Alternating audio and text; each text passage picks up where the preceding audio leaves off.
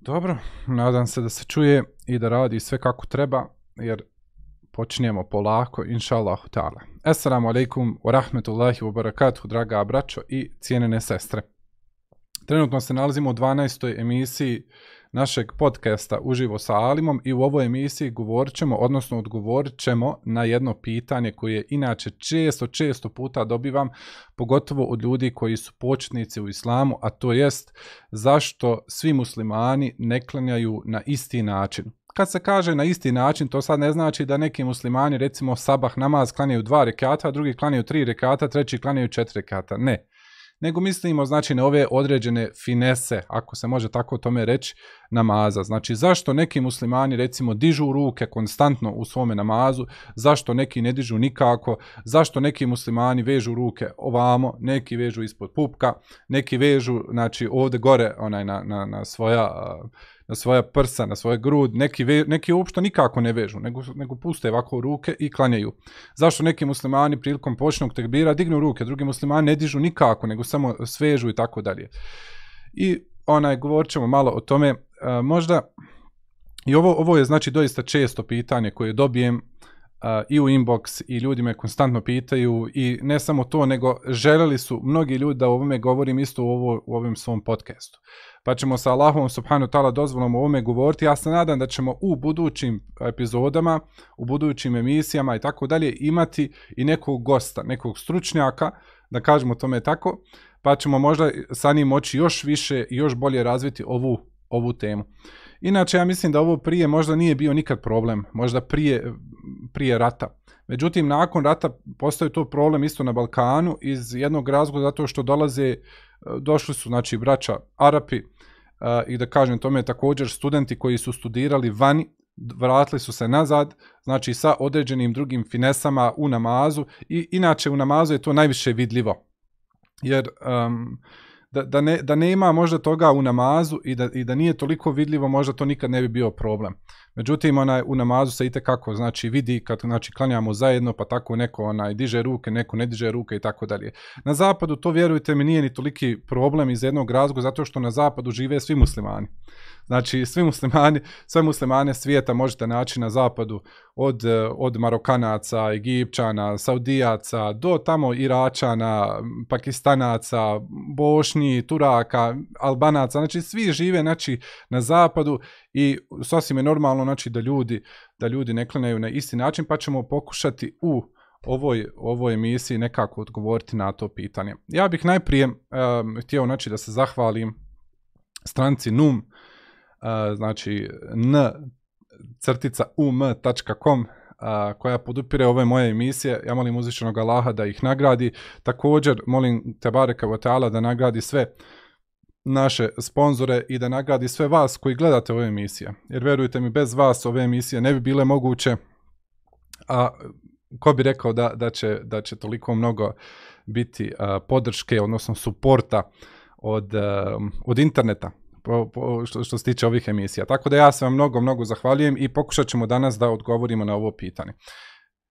Da bi mogli ispravno odgovoriti ili ispravno razumjeti ili ispravno tolerisati ove razlike kod različitih muslimana, trebamo govoriti o jednoj temi, a to jest o historiji islamskog zakonodavstva. Ja ću ovdje to pokušati nekako približiti vama, iako trebate shvatiti da se, o, da se radi o, o bukvalno o o skoro 1500 godina historije. Znači ja 1500 godina historije hoću vama da šta u jedne recimo 60 minuta objasnim i približim. I normalno je da ću mnoge stvari izostaviti, normalno je da neću biti tako temeljit, neću biti tako detaljan u određenim stvarima. I tu me trebate tolerisati i trebate to razumjeti ovaj, ova stvar inače uči se na, na fakultetu za islamske nauke i uči se jedan cijeli semestar, znači najmanje jedan cijeli semestar, šest mjeseci se uči. I sad ja hoću bukvalno šest mjeseci strpati u, jedan, u jednu emisiju i to je nemoguće uraditi, bar ne tako detaljno. Tako da ćemo dosta toga prijeći, um, da kažem tome, prijeći ćemo um, dosta uh, brzo. Brzo, ali opet ćemo, inšalahu Allah, na kraju svi shvatiti o čemu se radi. Ja sam ovaj kurs, odnosno ovo što ću vama danas govoriti, eh, držao sam u obliku kursa, u obliku seminara i tako dalje i obično, znači, na kraju ljudi imaju neko osnovno razumijevanje mezheba, imaju osnovno razumijevanje islamskog prava i imaju osnovno razumijevanje eh, razlika, pravnih razlika među muslimanima. Ja bih vama jednu stvar najprije pokazao. Gledajte, jednu stvar ću vam pokazati. Imam ovde, ovde kod sebe, imam jednu knjigu, ona se zove Mugni. I ona je u 15 tomova. Znači u 15 tomova, ako, ako mogu krenuti, ne znam da li se vidi, da li se ne vidi, ovako ćemo pokušati, ćemo nešto improvizirati. Znači imamo ovde 15 tomova, pa čak mi pade, a, pa ih neću, neću ih poredati, onaj, ovako, samo da vidite, da vidite jednu stvar koju želim da vam pokažem, koliko su inače islamski učenjaci bili to tolerantni kad su u pitanju ove razlike. Pa, mislim da, neće, da mi neće uspjeti na ovakav način kao što sam zamislio. Uglavnom, ima, ima još znači, knjiga, ima, ima oko 15 knjiga, knjiga ovog dijela El Mugni. Znači, evo kako, da ga možete svi vidjeti. Mugni, Ovo dijelo napisao je Ibn Kudame el Magdisi, poznati hambelijski učenjak. I ovo dijelo važi za jedno kapitalno dijelo naše islamske ustavštine, koje je ovaj učenjak ostavio u ovom svome dijelu koje je komparativni fik, odnosno unutra su e, sakupljena različita mišljenja različitih pravnih škola. Znači, različita mišljenja različitih pravnih škola sakupljena su u ovom dijelu.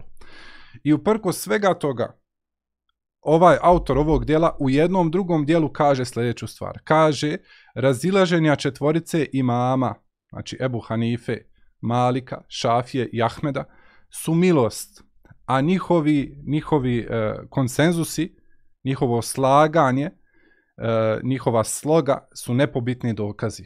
Znači, govorimo o jednom učenjaku, klasičaru, koji je imao toliko mnogo tolerantnosti da je na kraju čak i nakon ovako velikog i lijepog dijela i sam lično bio je imam hambelijskog mesheba, napisao jednu ovu knjigu i na kraju je rekao da, da su razilaženja među islamskim učenjacima milost. I tako, i tako trebamo, trebamo isto pokušati tako razumijeti tu stvar. Koliko god je to u našoj, naravno, mogućnosti. Uglavnom, ja, ja sam ovo odlučio da vam malo ovako prezentiram putem ove PowerPoint prezentacije. Pa ćemo to sad odraditi, samo da kliknemo ovdje na četvorku. E, to je to. Pa da maknemo ove knjige, naravno, da, da ne smetaju.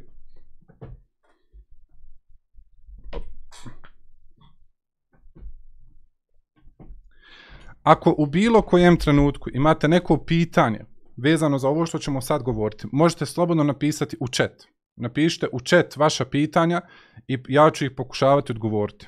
Inša Allahu ta'ala. Znači, govorit ćemo o razvoju islamskog zakonodavstva.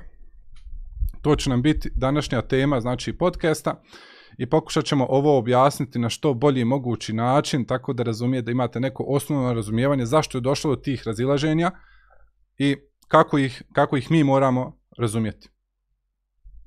Znači ovako, Prvo ćemo pogledati jednu stvar što se zove periodi.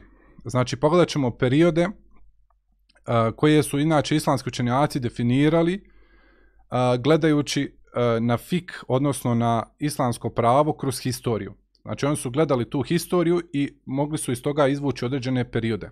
Pa ćemo vidjeti koji su to periodi. Imamo ovdje, znači, 1, 2, 3, 4, 5, 6 perioda. Najprije ćemo govoriti, i svaki period ćemo pogledati stvarno vrlo brzo. Vrlo brzo, vrlo onaj, sažeto, nećemo se toliko zadržavati, samo da imate neke osnovno, neko osnovno razumijevanje i ja se nadam da ćete od ove emisije isto nešto uzeti. Znači imamo period temelja, Uh, to je period u kojoj uh, e, života Allahov poslanika sallallahu alejhi ve selleme I namjerno sam ovdje pisao ove, ove godine u, u Gregor, Gregorijanskom kalendaru. Zašto? A, zato što većina muslimana u današnjem svijetu, ti kad bi, pogotovo nas na zapadu, kad bi nekome rekao to se desilo u trećem hidžetskom stoljeću, on pojma nema kad je to bilo. Ni to on zna šta je treće hidžetsko stoljeće, ni to on zna onaj, šta to znači, ni, on, on pojma nema. Znači, a ako mu kažeš, recimo, taj ta stvar, primjer, desila se u 15. stoljeću moderne ere, on već konta, aha, to je, to je tad kad je Kristof Kolumbus otkrio Ameriku, primjer i kad je e, e, Španija pala pod uticaj, odnosno pod, e, kad je bila rekonkvista i tako dalje. Zato ćemo se držati ovog, ovih godina i nemojte mi nešto zamjeriti, onaj, tako inako ovo nije, nije mišljeno za, za tulabu ilma, odnosno one koji studiraju islamske nauke, znači oni tako inako uče ove stvari detaljnije, mi ćemo ovdje to pokušati na malo većem nivoju normalno pogledati, ali nećemo se toliko zadržavati na, na detaljima. Znači na početku imamo period kojeg e, ćemo nazvati temelj, a to je od 609. do 632. godine.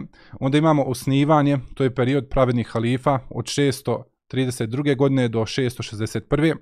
Onda imamo period razvoja, to je od, poče, od početka emevijskog hilafeta do njegovog pada, to je od 661. godine do polovice 8. stoljeća. I onda imamo period cvjetanja, to je od početka Abasijskog hilafeta do njegove stagnacije, znači od polovice 8. stoljeća, znači od tamo 750, pa sve do 960. godine. Onda imamo period utvrđivanja, to je od početka Abasijske stagnacije do smrti zadnjeg halife Abasida, zbog Mongola, znači to je e, e, zbog invazije Mongola, znači to je od 960. godine do polovice 13. stoljeća i onda imamo stagnaciju i pad. I to e, taj period jeste od pada Bagdada do danas, znači kad su Mongo, Mongoli zauzeli Bagdad pa sve do danas, odnosno od 1258. godine do, do današnjeg a, vremena. Dobro, idemo sad onaj dalje. Imamo prvi znači period, a to je temelj, to je period Allahu poslanika sallallahu alejhi ve selleme, samo sebe da ovde prebaci malo dole, ovako. A pa ću sebe onaj često puta prebacivati gore dole gore dole upravo zbog e, zbog ovog PowerPointa. Znači prvo ćemo pogledati ovaj period Allahov poslanika sallallahu alejhi ve selleme. Znači šta je karakteristično za ovaj period što se tiče islamskog zakonodavstva ili islamskog prava ili kao što mi kažemo fika. Znači to je period direktnog spuštanja objave. Allahu poslanik sallallahu alejhi ve selleme često puta bio je neku stvar upitan, pa je Allah subhanahu wa ta'ala direktno objavio ajete. I to možete vidjeti u Kur'anu kad god znači naletite na yes'alunaka, yes'alunaka an, primjer. Yes'alunaka an, pitaju te o. Ili kad, kad vidite da e, u, u, kad se vratite nazad na tefsir pa vidite da je neki ajet spušten zbog određenog događaja. Znači to je bio takav je bio slučaj isto sa fikom u 99,9% primjera. Znači, Allahov poslanika, sallallahu alaihi sallam, neko bi upitao nešto, pa bi on davao odgovor. Isti slučaj je bio sa sunnetom. Znači, sa hadisima, što bi mi danas rekli, znači sa hadisima, odnosno sa sunnetom. Um, primjer radi, onaj, um, jeste pitanje, kad je Allahov poslanik, sallallahu alaihi sallam, sallallahu alaihi sallam, bio upitan o morskoj vodi. O morskoj vodi. Pa je on rekao, huwa uh, huwa tahuru ma'uhu el hillu mejtetuhu. Znači, e, njegova voda je čista, a njegova crkotina, ono što crkne znači, u vodi, što umre u vodi, jeste halal. Jeste dozvoljena, jeste halal. Primjer rad, znači to, to je direktno bio upitan jednu stvar, pa je on šta odgovorio. Također jedna stvar koja je karakteristična za ovaj period jeste postepenost u pripisivanju zakona. Znači nisu svi zakoni automatski odmah došli kao što je recimo namaz. Namaz na početku bio propisan, međutim nije bilo propisano šta? Pet dnevnih namaza kao što je to bilo onda kasnije. Onda ima isto jedna stvar koju trebamo napraviti e, distinkciju, a to jest između mekanskog perioda od e, 609 e, od, do 622. godine, 22. godine i i između medinskog perioda, to jest od 622. godine do e, 632. kad je Allahov poslanik alejhi salatu vesselam preselio. Imamo određene stvari koje su specifične za mekanski period i za medinski. Vjerujte mi, ovo sve se uči na fakultetu, ja vam ovdje onaj, ovo dajem e, sasvim e, olakšano, neotežano i tako dalje.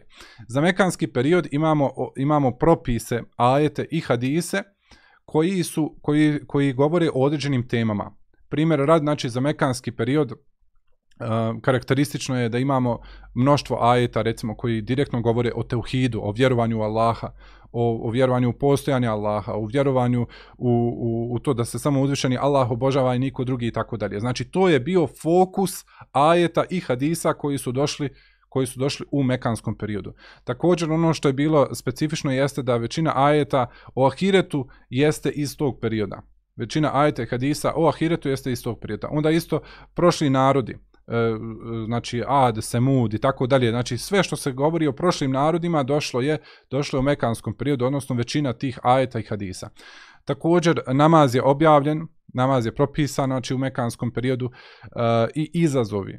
Također, izazovi u smislu gdje Allah subhanahu wa ta'ala daje izazov mušicima Meke da naprave Kur'an sličan Kur'anu, da naprave uh, uh, suru, znači sličnu sličnu surama iz Kur'ana i tako dalje. Znači, kad vidimo te stvari, znamo da je to bilo iz mekanskog perioda, jer je to bilo e, specifično za mekanski, za mekanski period. Onda imamo medinski period.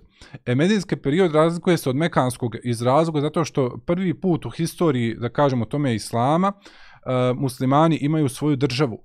Imaju svoju državu, imaju svoju, um, svoj um, zakon, imaju, imaju, znači, da kažem tome, imaju vlast. I zbog toga dolaze E, spuštaju se zakoni, znači ovo je period znači, u kojem se e, obja, većina zakona objavljena je iz, u medinskom periodu. Znači svi zakoni znači, koje, koje ćemo naći, većinoma objavljeni su u medinskom periodu. I znači propisi, zakoni, kako god da naj to definišemo.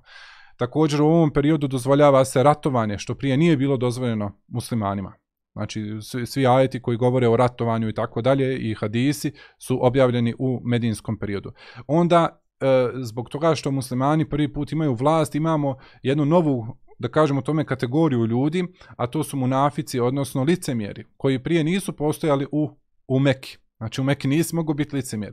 Dok u Medini imaš ljude koji primaju islam, stupaju u islam sa svojim nekim motivima, ali oni sami u svome srcu još uvijek nisu muslimani i svi ajeti koji su objavljeni u munaficima, znači došli su u medinskom periodu. I također, e, mnogi ajeti o ehlu kitabijama, o židovima i kršanima, došli su u medinskom periodu, zato što su muslimani u, u Medini živjeli znači, sa židovima, a imali su isto kontakt sa, sa kršćanima. Um, sad kad neko pita pa šta su izvori islamskog prava, odnosno zakonodavstva, bili u ovom prvom periodu. U ovom prvom periodu imate Kur'an i sunnet. Znači to vam je bio zakon i direktno znači Eh, kad, kad god bi Allahu poslanik alejhi salatu vesselam bio nešto upitan vezano za vjeru, Allah subhanahu wa taala bi spustio ajet ili bi uh, putem hadisa Allahu poslanik sallallahu alejhi ve selleme nešto objasnio. Ono što je ovdje bitno uh, što ja možda ovdje nisam napomenuo, a jeste a to jeste da je Allahu poslanik sallallahu alejhi ve selleme čak u ovom periodu uh, postavio određene smjernice za ičtihad odnosno za ulaganje truda kako bi čovjek pogodio istinu, kako bi pogodio šerijetski propis ulaganje truda, istraživanje i tako dalje, kako bi pogodio propis. E, i, i, I to se može vidjeti znači, po mnoštvu hadisa koji su došli na tu temu, recimo um, hadisu kojima Allahov poslanik sallallahu alejhi ve selleme kaže da kad uh, učenjak uh, i uloži trud pa pogriješi, ima dvije nagrade. O, ima jednu nagradu, izvinite, ima jednu nagradu. Znači imaš nagradu šta za svoj trud. A kad, bi, kad, kad ulaže svoj trud i pogodi, znači pogodi šarijetski propis, ima dvije nagrade primjera znači radi. Onda ima i, i drugi znači hadisi koji su došli na ovu temu, ja doista ne bih htio onaj da se toliko zadržavam, ali ono što je bitno ovdje da shvatimo jeste da je da je ovdje čak bi, bila neka osnova za ičtihad. A ako, ako moram već eh, e, navesti neki primjer, e, da, da vas ne ostavim ravnodušne. Primjer radi jeste e, Sad, e, Sad ibn Muaz. Tako, Sad ibn Muaz, koji je um, kojem je bilo dato da presudi Benu Kureizi, židovskom plemenu Benu Kureizi. A tako? Znači, bilo mu je dato da im presudi, čak oni sami su rekli da hoće da, hoće da im on presudi. Je tako? Pa je Allahov poslanik, alaihi salatu wasalam, pozvao ga, pa je on onda presudio njima. Znači, presudio im je, što znači da je ovdje šta? Investirao svoje vrijeme, uložio je svoj ičtihad, znači e, da bi, da bi došao do ispravnog šerijatskog propisa i onda im je presudio shodno tome. I Allahu poslanik sallallahu alejhi ve sellem je to potvrdio. Znači to, to je jedan od, od praktičnih primjera i ti primjera ima koliko god hoćete, ali ovo je vrlo bitno da se svati zato što je ičtihad osnova za kasnije periode. Osnova za, za kasnije periode. Za novo nastale mesele i tako dalje. Znači ovo je period koji se zove temelj, odnosno to je period života Allahu poslanika sallallahu alaihi wa sallame. Ako ima neko neko pitanje, nek slobodno pita, objasnit ćemo sa Allahom subhanahu ta'ala dozvolom. Onda imamo drugi period, a to je osnivanje. I to je period pravednih halifa, znači od 632. do 661. Te uh, halife su Ebu Bekr, Omer, Osman i Alija. Ima ovdje još jedan peti halifa kojeg neću tu spomenuti, ali ima razilaženje uh, među učenjacima da li se isto on ubraja u pravedne halife ili se ne ubraja. Ako neko zna ko je to, nego napiše, uh, pa, ćemo, pa ćemo dati neku nagradu, ako ne zna onda, onda ali nećemo se tu za, sad zadržavati. Uglavnom, šta je, spe, šta je specifično znači, za ovaj period? Uh, vi morate shvatiti jednu stvar, onaj, uh, Znači, u vrijeme Allahov poslanika, alaihi salatu wasalam, većina njihovo, njihove borbe bila je na tom periodu hijjaza, da kažemo tome tako. Znači, to vam je taj, taj period Meka i Medina, ta, ta relacija. Normalno, znači, sa, sa, samim, e, sa samim životom Allahov poslanika, alaihi salatu wasalam, druga plemena primaju islam i tako dalje, pa se, pa se polako teritorij muslimana širi. Međutim, u periodu pravenih halifa, e, islamski umet izgleda ovako kao što vidite na, ovom, e, na ovoj slici. Znači, uh, bukvalno, znači, ko, komplet uh, Sirija je po, pod, uh, pod teritorijom, pod vlasništvom, znači, muslimana, uh, a, Jordan, Egipat, a, Irak, znači, taj, taj perzijski dio i naravno, znači, kompletna Saudijska Arabija. Znači, kompletna Saudijska Arabija, znači, sa Jemenom i tako dalje, e, ove druge države, znači, Kuwait, Katar i tako dalje, koje tad nisu normalno, normalno postojale, ali hoću da kažem, znači, to je bio teritorij teritorij znači kojeg e, kojeg su zauzimali znači u ovom periodu osnivanja. I normalno, znači sa, sa, sa većim teritorijom dolaze određene, određeni izazovi koji nisu postojali u vrijeme Allahov poslanika, alaihi sratu wasalam. Što je specifično za ovaj period jeste da se je mnogo koristio iđma, odnosno konsenzus.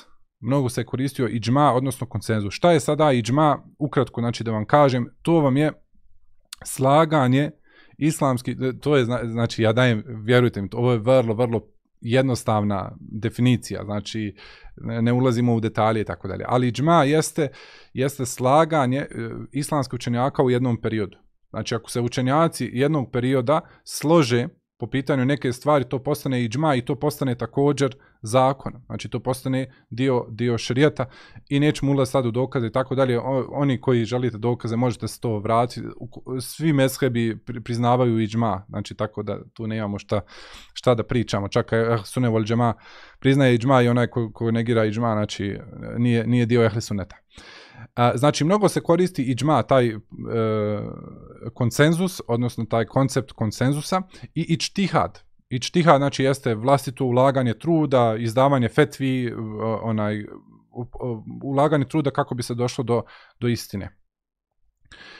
Ovo je kasnije bila osnova za fik kasnijih generacija.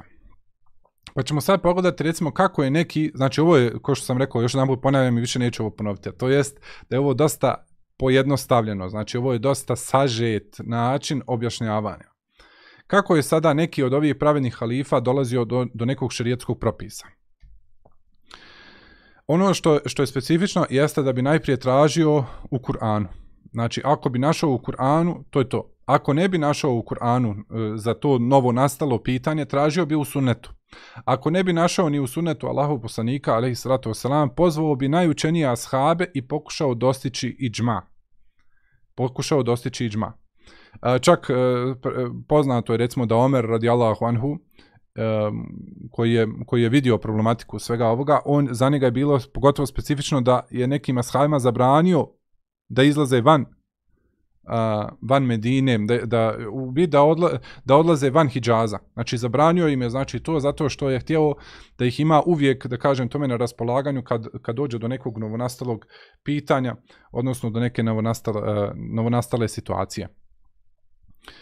Um, samo malkice. Ok. Uh, znači, uh, pokušao bi dostići iđma. Znači, sakupio bi ih i porazgovarao bi sa njima o toj novonastaloj temi i pokušao bi sa njima dostići iđma ili konsenzus. Ako ne bi mogao dostići konsenzus, recimo da su se ashabi razišli, uzeo bi stav većine.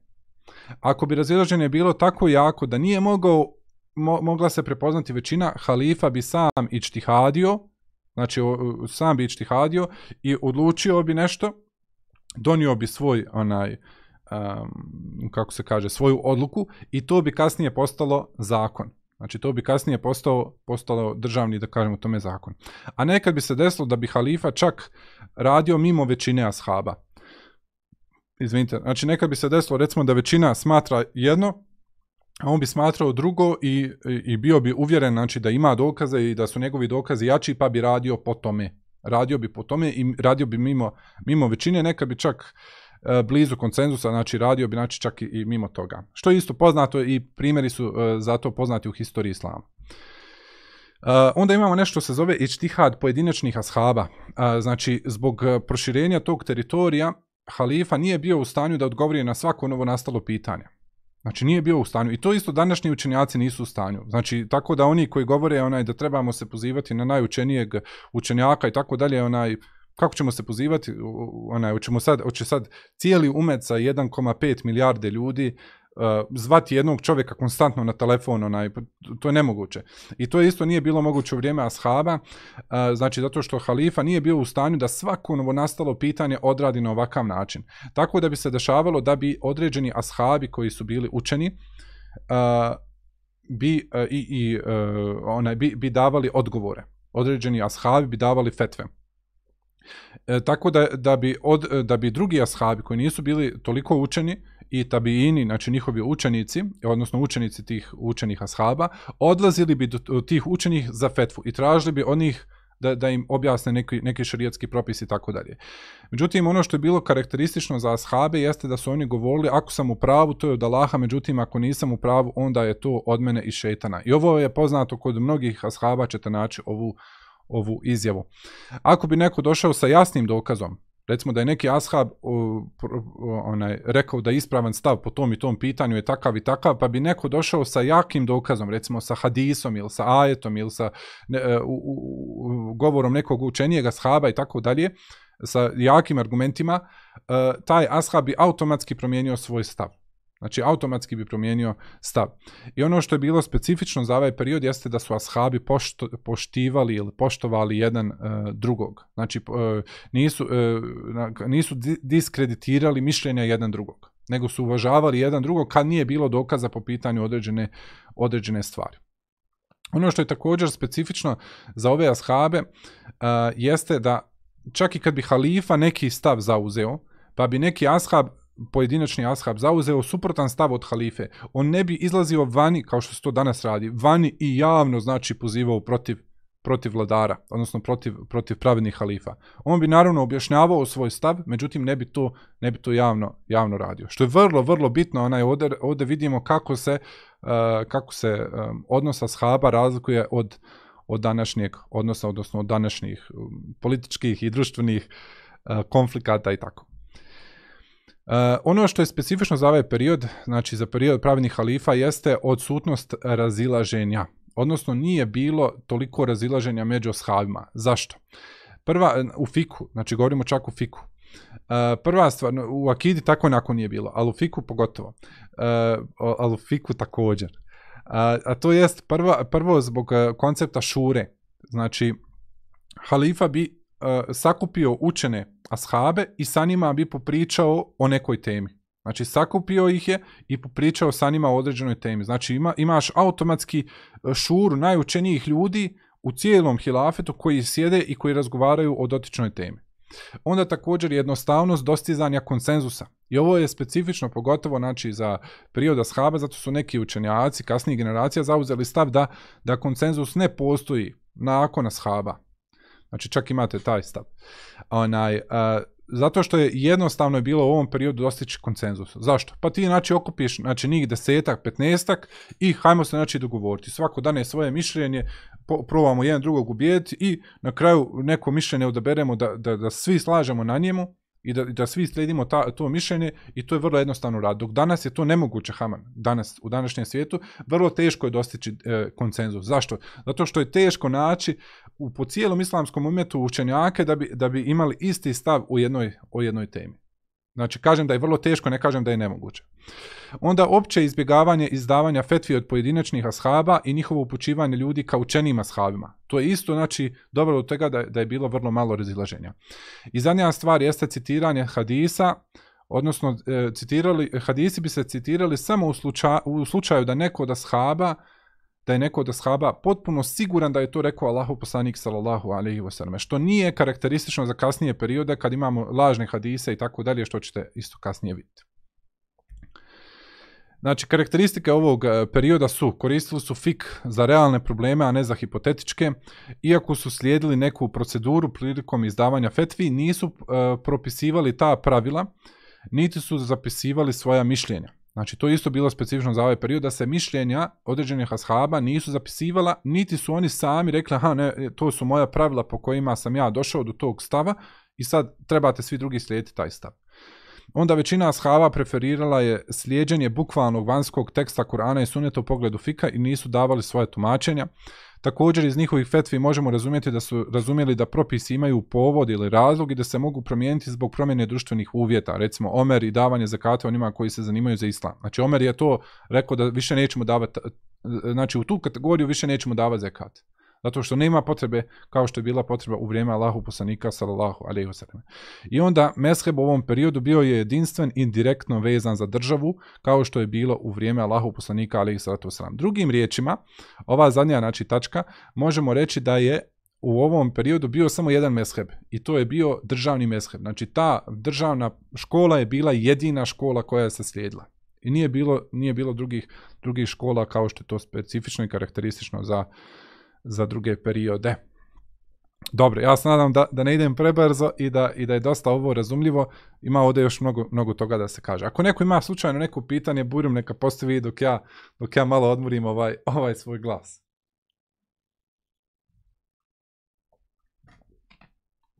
Ah. Vi slobodno onaj možete u četu postaviti pitanje pa ću odgovoriti, a oni koji budete kasnije gledali ovaj, ovaj, ovaj ovaj podcast, ovu emisiju, možete normalno dole u komentare napisati onaj vaše, vaše, vaše razmišljanja, vaše utiske, uh, vaše kritike ili vaše pitanja, pa ćemo pokušavati odgovoriti, inša Allahu ta'ala. Idemo na sljedeći. Znači, ovo je sad treći period. Znači, odradili smo dva perioda, sad idemo na treći, a to je period razvoja. A, to je od početka Emevijskog hilafeta do njegovog pada, znači od, od 661. do polovice 8. stoljeća. Uh, dobro, to je znači od smrti zadnjeg pravednog halife, uh, odnosno od, od Muavija ibn Ebi Sufjana, znači to je prvi halifa Emevijskog hilafeta, do zadnjeg Emevijskog halife. Do zadnjeg Emevijskog halife, um, ovo možda, možda, možda malo nisam dobro ovo napisao do zadnjeg emevijskog halife, zato što emevijski hilafe čak postoji nakon, nakon polovice 8. stoljeća. Znači, nakon polovice 8. stoljeća također postoji ovaj, ovaj hilafet. Što ćemo isto malo pričati o tome, dotat ćemo se onaj ukratko. A, šta je specifično za ovaj period? A, nemojte, nemojte jednu stvar imajte, imajte u mislima. Znači, ja kad govorim o, o ovim periodima, ja govorim u cijelom periodu znači, e, ko, znači 100, 100 i kusur godina.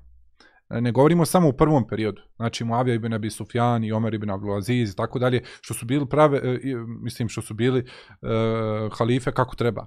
Ne govorimo za cijeli taj period, šta se pojavljuje u tom periodu. Znači pojavljuju se razilaženja, pojavljuje se sektašenje. Znači ovo je prvi put, da kažemo tome, u historiji Islama kad sekte stvarno postanu jake postanu jake. To se isto onda kasnije, nažalost, vidjelo. I uh, zbog, e, zbog razilaženja, zbog sektašenja, zbog problematike i tako dalje, učenjaci se polako odvajaju od vlasti.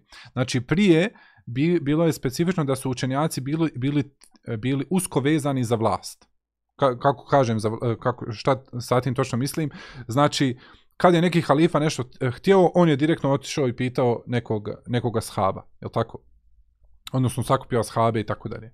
Dok u ovom periodu zbog eh, svih ovih problema učenjaci polako odlaze od od vlasti i, i neće da budu kadije, neće da budu onaj muftije i tako dalje. Onda povećanje ičtihada, znači eh, više imamo ičtihada u ovom periodu naravno zato što se teritorij muslimana još više širi imamo isto povećanje izmišljanja hadisa. Znači, u prošlom periodu bilo je šta specifično za ashabe da su citirali Allahu poslanika alaihi salatu wasalam, samo tad kad su bili 100% sigurni da je nešto rekao većina ashaba. A u ovom, u ovom periodu imamo znači, pove, povećanje, znači citiranja hadisa, ovaj čuo od ovoga, onaj čuo od onoga. Međutim, imamo isto povećanje izmišljanja hadisa, namjernog izmišljanja, ubacivanja lažnih hadisa i tako dalje. I imamo bilježenje mišljenja ashaba, što prije nije bilo karakteristično, sad ovdje se bilježe mišljenja ashaba i formiraju se meshebi. Ovo je teritorij znači, kojeg je zauzimao emevijski hilafet i isti teritorij, odnosno malo veći teritorij zauzimao je abasitski hilafet, međutim, i ovdje trebam to reći, e, znači Emevije, Emevije su kasnije, onaj, e, zadnji Emevijski halifa pobjegao je od abasitske vlasti, da kažem tome tako, da ga e, Abasidi nisu mogli da ga ubiju, pa je pobjegao u Spaniju. I komplet e, u Španiju i taj dio Španije, Portugala i e, gornji ovaj dio, znači e, sjeverno, kako se kaže, sjeverno-zapadne Afrike, zauzimao je emevijski hilafet. Tako da taj hilafet bukvalno se razbio na dva hilafeta. To trebate imati u mislima. Onaj, nažalost, to je tako bilo, nažalost, onaj, nažalost. Ali uglavnom, e, kad kažemo hilafet kao hilafet, ovo mu je bila slika, onaj, čak i veća slika, znači kasnije kad su Abasidi došli e, na, na vlast, još više se, još više se, se povećao. Znači vidimo sad onaj koliko od one manje države, onaj koja je bila samo Medina, sad odjednom znači muslimani imaju toliko ogromnu znači državu i normalno da zbog toga dolazi do različitih novih novonastalih pitanja i potrebno je ulaganje i čtihada od, od, od islamskih učenjaka stvari koje utiču na fik u ovom periodu. Prva stvar je razilaženje u umetu, konkretno Haridžije šije, znači nastanu nast, e, kao, na, na početku kao političke a, struje, a onda kasnije se čak razviju kao teološki meshebi onaj, i e, zabludjeli akaidski pravci. Uh, onda imamo politički konflikt također sa Abdullahom ibn, ibn Zubeirom. O, ovo neću ništa govoriti o ome, jer mislim da je samo samo bio neki problem ako bi nešto rekao. A oni koji hoćete možete se vratiti nazad na historiju, pogledati šta je točno bilo sa Abdullahom ibn Zubeirom i tako. A, onda imamo zastranivanje emevijskih eh, eh, halifa. Znači, dešava se to, dešavaju se čudne stvari u ovom periodu. Mimo onih početnih halifa koji su bili još top, eh, kasnije ove halife počinju polako onaj, ići previše u lijevo pa imamo jednu od stvari koja se promijeni u ovom periodu jeste da Bejtul Mal, um, to je državna kasa, postaje imovina halife i njegove porodice. Znači, to, to je jedna od, od karakteristika ovog perioda, što automatski znači da, da se kralj onaj bogati i, i, da, i da sam hilafet znači e, postaje kraljevina kao što sam je ovdje isto napisao. Onda u, uvođenje dodatnih poreza koji prije nisu bili poznati sad se uvode zato da bi još više mogli uh, sakupiti metka. Onda gubitak principa šure islamskih učenjaka zato što učenjaci bježe od vlasti, ne možeš ih više sakupiti zajedno, da oni mogu zajedno razgovarati. Onda neki vladari su uvodili propise kako bi podupirali, uh, poduprli, poduprli svoje devijacije kako bi, ne, ja, kako bi znači, uh, dali legi, legitimnost svojim devijacijama, što ćemo isto pričati kasnije. Onda rasuto su leme po islamskom svijetu, znači bježanje učenjaka iz gradova i nemogućnost dosidanja konsenzusa. Zato što učenjaci, pazite, znači prije su učenjaci svi bili na jednom mjestu, a sad oni polako bježe, znači nisu više i, i znači rasuti su po cijelom islamskom svijetu i nemoguće ih je sad e, dobiti, znači na istom na, na istom mjestu, da kažemo tome, tako da se oni dogovore. I to je isto danas problem. Ako realno pomislite, mada danas je malo drugačije zato što imamo internet, danas ljudi one mogu preko interneta dostići džma ako, ako žele, znači ako žele, prije u tom periodu to nije bilo moguće. I naravno povećanje i. Onda imamo, imamo takozvane uh, centre, uh, centre za, uh, za učenje fika, koji se pojavljuju. Recimo Ebu Hanife i Sufjane Sevri, E, e, Seuri djeluju u Kufi. Onda imate Malika, imama Malika koji funkcionira u Medini.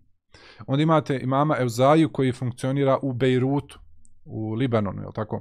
Onda imate Lejsa ibn Saada koji je u Egiptu. One, znači imamo na jedan put, prije toga nije bilo, sad imamo, odjednom imamo ove centre, centre za učenje fika. I ono što uh, u također utiče na fik jeste izmišljanje hadisa, odnosno uh, zbog toga se razvije nauka hadisa, kritika pohvala, znači nauka kritike, pohvale, istraživanje ravija, znači ko su ravije i tako dalje i sakupljanje hadisa što što se možda nije uh, nije toliko fokusiralo u prošlim periodima. Karakteristike ovog perioda jeste da se razviju dvije škole, jedna je Ehlul Hadis, koja djeluje u Medini, a druga je Ehlul Raj u Kufi u, u ovom gore dijelu gdje je Irak. A, šta sam tamo bio napisao samo da vidim jednu stvar? Ja, kufa.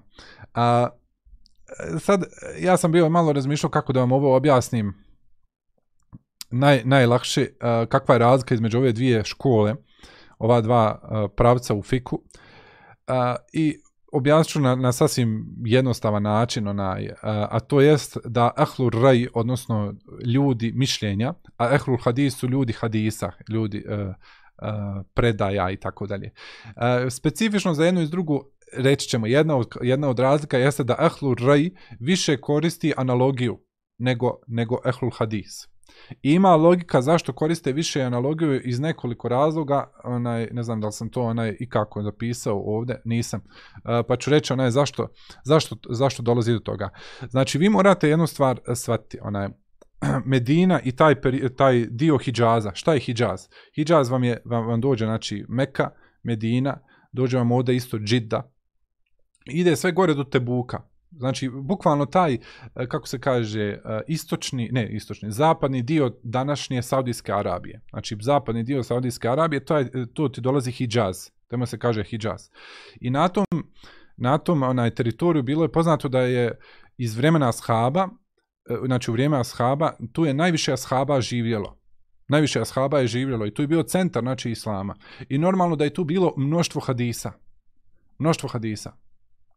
I normalno ti ljudi, onaj, oni su uzimali znači, te hadise i, i za većinu, e, da kažem tome, većinu ovih e, svojih propisa, ti si mogao direktno da odeš da upitaš nekog ashaba i on bi ti rekao, rekao mi Allahu poslanik, alaihi salatu wasalam, to i to. Ili čuo sam Allahu poslanika, sallallahu alaihi sallam, da kaže to i to. Dok sa druge strane, taj gore dio Iraka, um, ili ka, prijašnje Perzije, bio je iskušan različitim fitnama ra, e, znači od različitih sekti do, do različitih lažaca koji su izmišljali hadise, do različitih problema, znači političkih i tako dalje, i učenjaci u onom gore periodu, oni su bili e, prisiljeni, da kažem tome tako, da, da, e, da mnoge hadise e, smatraju lažnima, zato što su se bojali znači da neće neko slagati i tako dalje. I, i sa druge strane bili su primorani da ulagaju svoj vlastiti intelekt odnosno svoj vlastiti trud kako bi došli do do šerijetskih do šerijetskih propisa, odnosno do do šerijetskih odgovora na novo nastala pitanja.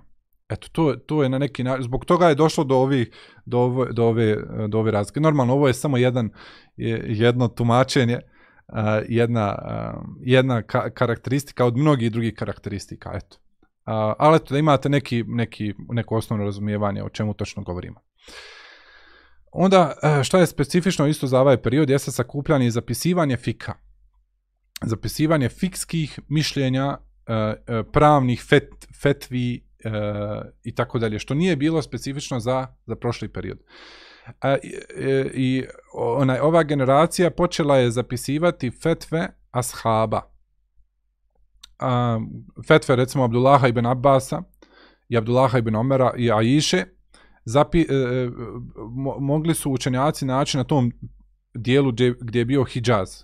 Mogli su tamo naći normalno zapisivati, zato što su oni tamo živjeli. A dok fetve Abdullaha ibn Mas'uda i Alije, radijallahu anhu, ili radijallahu anhuma, uh, ili radijallahu anohum, eđme'in, uh, e, bile su uh, onaj na tom periodu, na, na tom području Iraka, zato što su oni tamo živjeli. Međutim, danas uh, mi, mi nemamo te kolekcije. Znači, te kolekcije danas ne možete naći, a, a međutim možemo ih naći u predajama e, koje su zabilježene u hadijskim dijelima. Znači, možemo ih naći u predajama koje su zabilježene u hadijskim dijelima.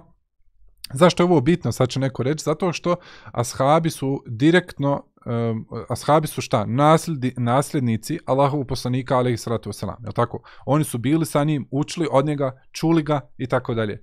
I mogli su direktno izdavati znači, fetve, odnosno govoriti ono što je govorio Allahov poslanik, alaihi salatu wasalam. I zato je vrlo bitno da se mišljenja ashaba zapišu i da imamo mišljenja ashaba. Uh, to, to im je onaj, to im je to im daje tako visok status. Eto, ako ima neko pitanje vezano za ovu, budu napišite dok ja malo, dok se ja malo osvježim.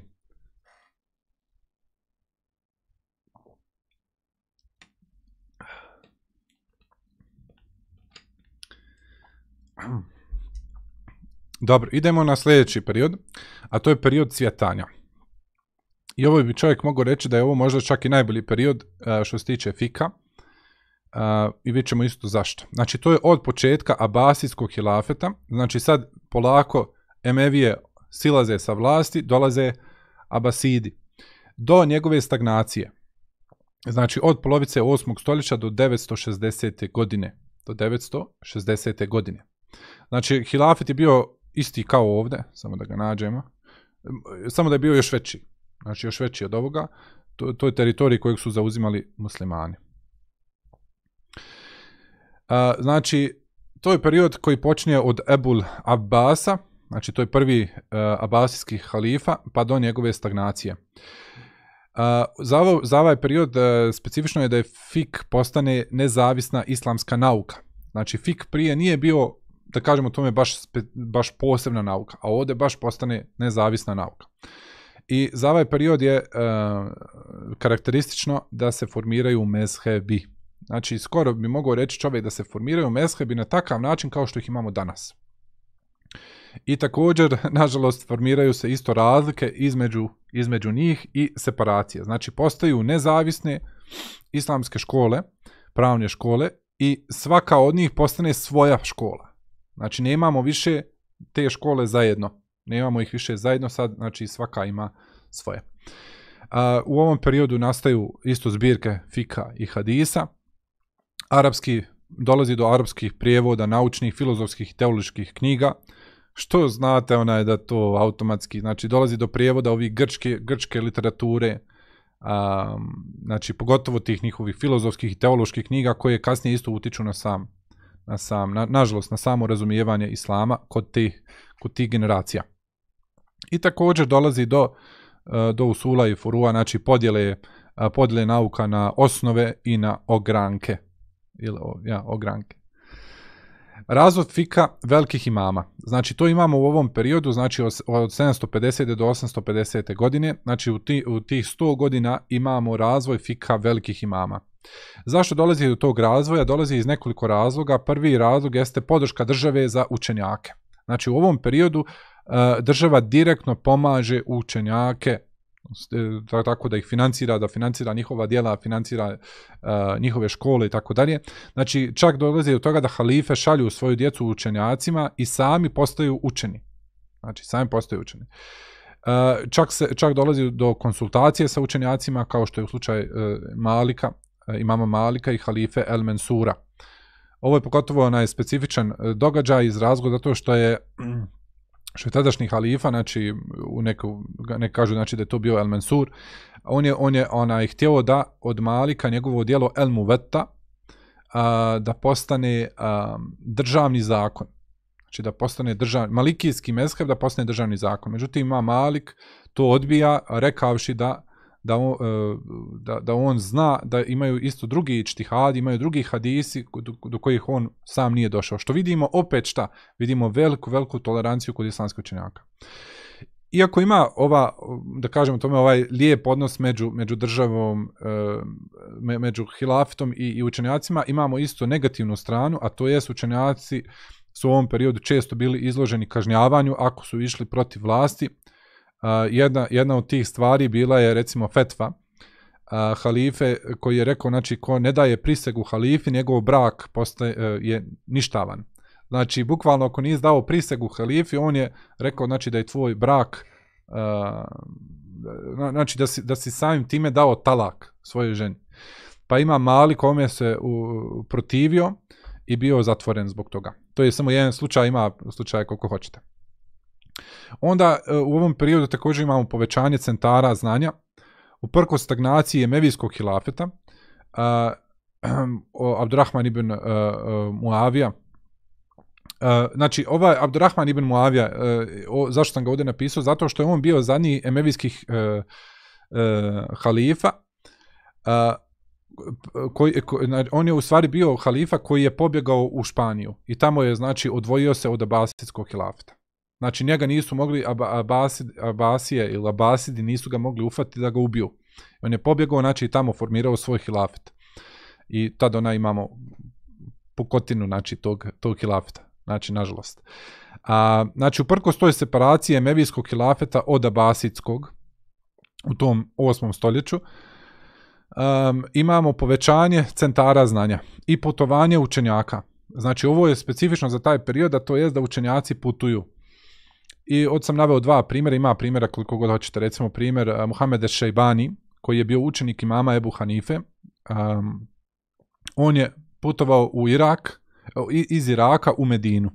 Znači iz Iraka, tamo gdje je učio kod imama Ebu Hanife, kasnije, znači kad je imam preselio i tako dalje, znači putovao je u Medinu kako bi od imama Malika naučio mu vetu. I čak on je jedan od prenosioca mu vete, što je stvarno, onaj, stvarno specifično za taj period. Imamo također i mama Šafiju, koji je putovao najprije u Hidžaz, Uh, znači kako bi učio kod imama Malika, čak se prenosi da je zapamtio od imama Malika kompletnu mu vetu, naučio je na pamet. Kad je pokupio od njega znanje, otišao u Irak i tamo našao Muhameda i Šajbanija. Uh, eh, I kod Muhameda i Šajbanija učio kraći period i onda otišao još u Egipat i učio od Lejsa ibn Sada. Što je ona, još jedan pokazatelj onaj kako učenjaci ovog perioda putuju. Onda za ovaj period e, također ono što je specifično jeste raširenost rasprava i diskusija, poznata rasprava recimo između imama Malika i Lejsa ibn Sada o praksi, odnosno o običajima stanovnika Medine. O običajima stanovnika Medine. A, I onda imamo sljeđenje dokaza E, što je isto znači specifično bilo za ovaj period, znači da se nisu toliko bazirali kao što ćemo vidjeti kasnim periodima, znači da treba čovjek imati neki mezheb i tako dalje. Ovdje su znači učenjaci gledali na fik vrlo jednostavno. Znači a, ako ima ispravan hadis, to je moj mezheb. I e, najbolji primjer za to su Ebu Jusuf i Muhameda Šejbani koji su koji su mnoštvo, mnoštvo, mnoštvo mišljenja i fetvi od imama Ebu Hanife odbacili, znači uzeli drugi stav zato što su vidjeli znači da ima jači dokaz i da i da su dokazi a, druge strane jači nego dokazi njihovog njihovog imama. Dobro. Ja se nadam da se to sad sve čuje. Uglavnom ovo ovo je ovo je jedna od od stvari koje su specifične za ovaj period. Onda imamo period učenika velikih imama. Znači ovdje smo imali uh, Eh, znači razvoj fika kod tih velikih imama u ovih 100 godina i onda imamo sljedećih 100 godina od 850 do 950, a to je period učenika tih velikih imama. Eh, šta je specifično za ovaj period jeste da se u ovom periodu e, formiraju zbirke fika, znači konkretne zbirke fika, normalno o, o, ova, o, ovo dijelo nije, nije iz ovog perioda, da se razumijemo, ovo dijelo je iz, iz perioda krsta, krstaških ratova. Onaj, nastalo, nastalo mnogo, mnogo kasnije. Uh, ali ono što je, što je specifično za ovaj period jeste znači, da imamo zbirke fika. Uh, imamo, uh, imamo tri vrste knjiga koje nastaju u, u ovom periodu što se tiče fika. Imamo neki miks, neku mješovinu, znači ime, između fikskih mišljenja, uh, između fikskih mišljenja had, e, hadisa, mišljenja shaba i njihovih studenta. Uh, e, klasičan primjer za to jeste recimo Muveta od imama Malika onda imamo fikske knjige sa hadisima koji su spomenuti samo da bi ojačali neki princip. Znači ova ova prva znači vrsta zbirki su znači zbir, klasične znači zbirke hadijske zbirke gdje ti znači imaš unutra imaš fikska mišljenja, imaš mišljenja ashaba, imaš mišljenja njihovih studenata, imaš hadise i tako dalje. Kao što je mu, mu veta od Alka. Onda imaš druge ove to su fikske knjige sa hadisima koji su spomenuti samo da bi ojačali neki princip. Primjer zato su, recimo, dvije knjige ovdje imam navedene, jeste, jedna je El Um od imama Šafije, a druga je Kitabul Haraj od Ebu Jusufa iz Hanefijskog mesheba. I onda imamo knjige koje su organizirane na osnovu mesela, znači kao što je El Mudevene. Onda ono što je specifično za ovaj period su nažalost i neke negativne stvari kao što su debate na dvorcima. Znači u ovom periodu dešava se nažalost da prema kasnijem, znači tom periodu, a, halife, odnosno vladari, nabavljaju učenjake kako bi se raspravljali na njihovim dvorovima, njihovim dvorcima, ili kako god. Um, pa, pa tako bace neku meselu, dođu Hanefije, znači oni e, na, nabave jednog Hanefijskog učenjaka, jednog Šafijskog učenjaka i oni dvojice sada onaj ratuju tu. Onaj, što je, nažalost, onaj, to, to je specifično, znači za ovaj period što je, što je negativno. Što negativno onda isto kasnije utječe na fik. Onda u ovom periodu imamo isto zbirke hadisa kao što su Buhari i Muslim, Uh, te dvije sam tu naveo, znači naravno imaju druge. Onaj, i, I ovdje imamo također razvoj islamskih nauka. Znači prvi put u, u historiji ovdje bukvalno uh, se razvijaju nauke, dobivaju svoja imena i dobivaju svoju, svoju poziciju a, koju možda prije nisu nisu imale. Kao što je recimo u Sulul Fik, Fik, Tefsir, Nahu, Nahu je a, a, arapska gramatika, Hadis i tako dalje. Dobro. Sad ćemo eh, malo pogovoriti o meshebima, pa eto ako ima neko mišljenje, prije nego što skočimo, ako ima neko neki komentar, bujru, a sad ćemo onaj preskočiti još na meshebe.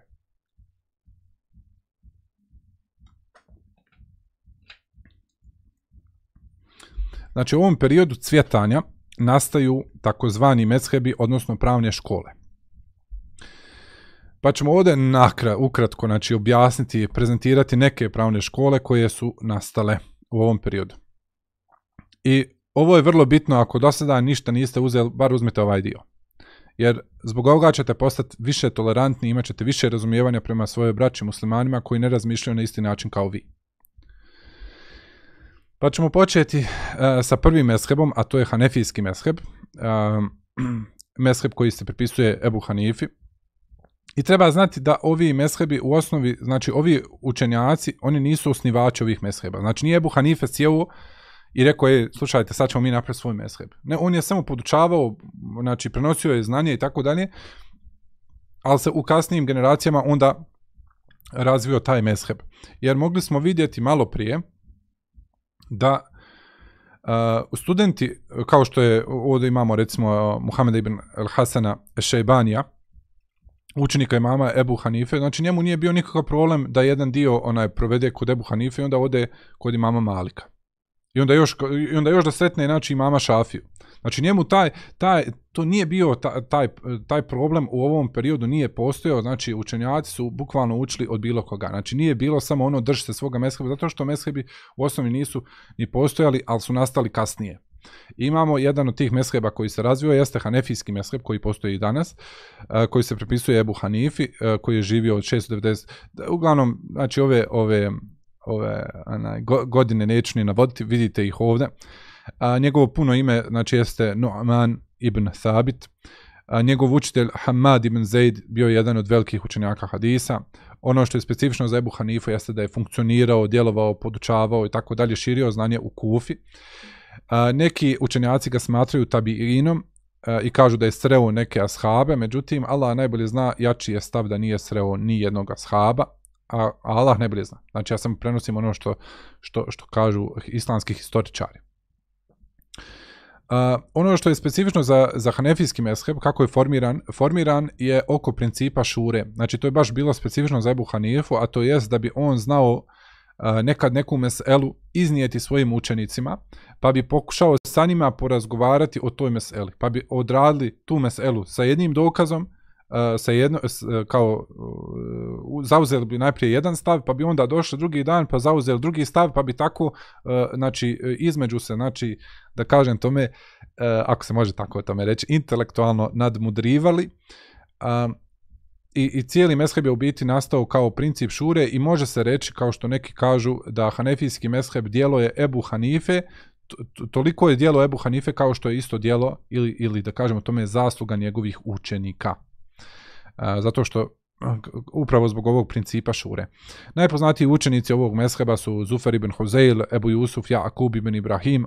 Ovaj Ebu Jusuf, rahimehullah, on je, da kažemo tome, još najviše zaslužan da se taj mesheb tako brzo proširio, zato što je radio isto kao kadija i tako širio svoj mesheb. Uh, I Muhammed ibn al-Hasan al-Shaybani.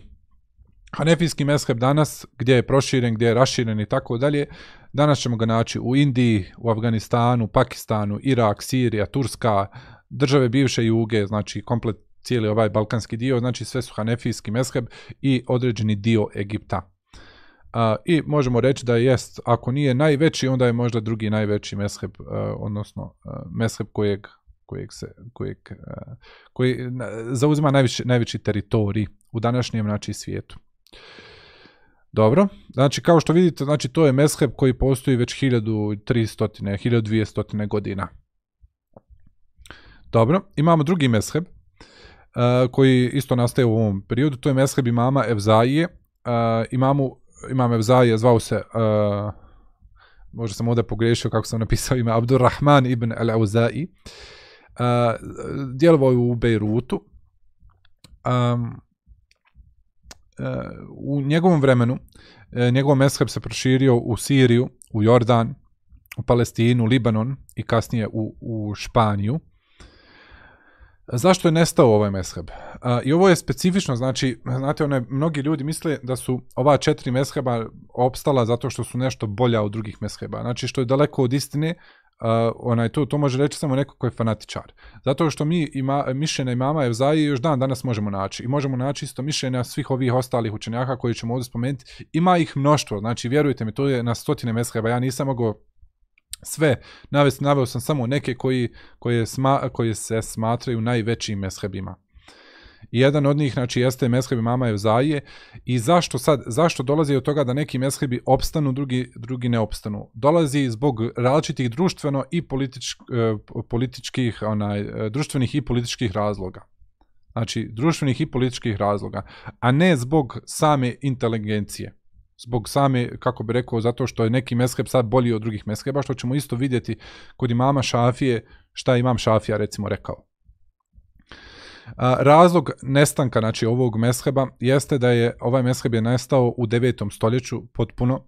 Glavni razlog je bio zato što Ebu Zura, odnosno Muhammed ibn Osman, Kadija Dameska, davao je nagradu od 100 dinara svakome ko nauči napome dijelo Muhtesar el Muzeni, što je iz šafijskog mesheba.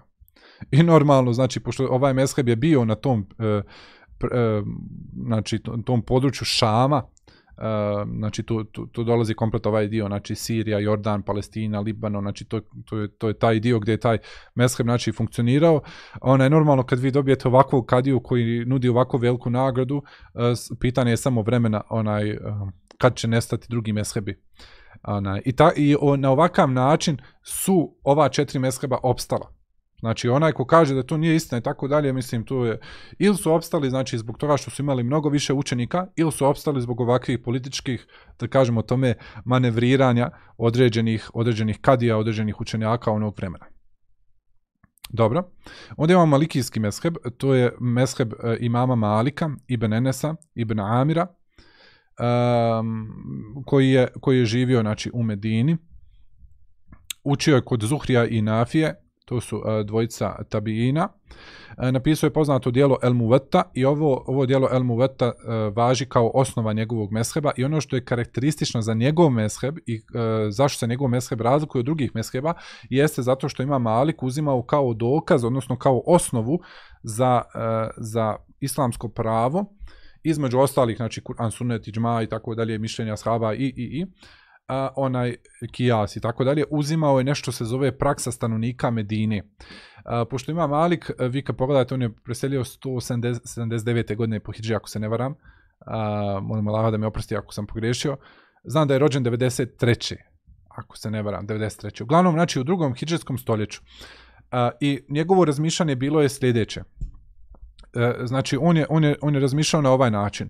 Znači, ja živim u Medini u Medini živjelo je, živjeli su ashabi. Ova sad generacija koja je došla, oni su potomci ashaba. Znači, to je njegovo razmišljanje bilo. Oni su potomci ashaba. I normalno, ako vidim da, da stanovnici Medine neku stvar rade, svi oni rade neku stvar, to znači da je to isto sunnet. Zašto? Zato što vidjeli su svoje očeve, svoje majke koji su bili ashabi, a sahabi su to vidjeli od Allahu poslanika alaihi salatu wasalam. I to je bilo njegovo razmišljanje zašto se praksa stanovnika Medine treba uzeti kao dokaz. To je bilo njegovo njegovo mišljenje. Uh, ima tu sad velika rasprava da li, je, da li je on tu pogodio istinu, nije pogodio istinu i tako dalje, o tome sad mi nećemo ovdje govoriti, ali je, ali je bitno onaj da to znate i to je baš karakteristika malikijskog mesheba. To je baš karakteristika malikijskog mesheba i po tome se on razlikuje od drugih mesheba. Učenici ovog mesheba poznate, poznat, imaju dva učenika, jedan je Al-Qasim, drugi je Ibn Vehb, međutim, jedan i drugi nisu nešto, onaj, nisu ostavili neku posebnu ostavštinu, ako se može tako u tome reći, pa molim Allah da mi oprosti ako, ako, mogu, ako mogu tako reći. Znači, to je nešto učenjaci uh, kažu. Jel? Um, onda imamo gdje je proširen taj mesheb danas. Znači, proširen je u Egiptu, određen dio Egipta.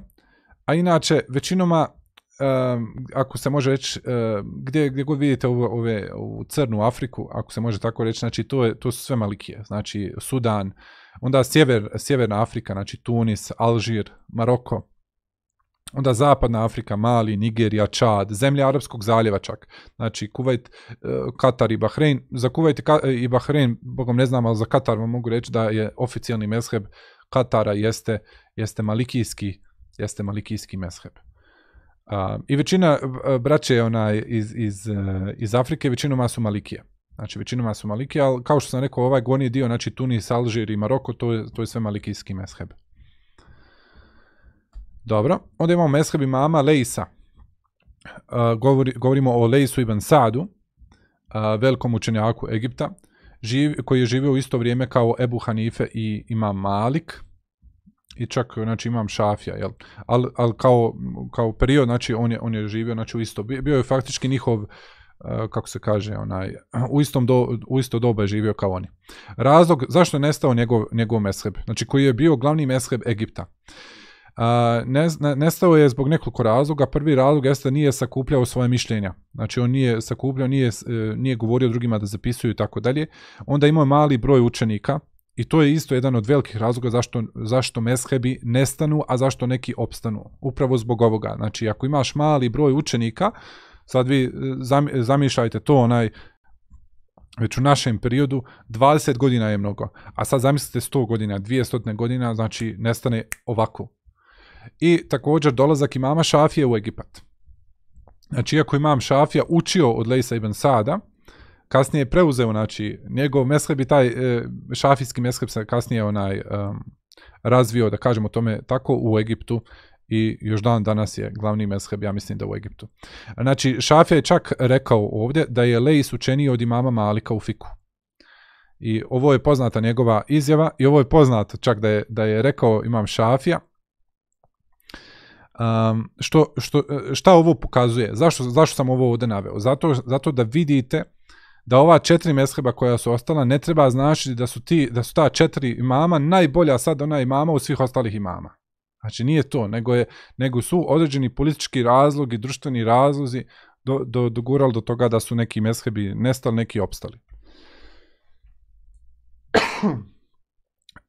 možda, možda ima neko neki komentar.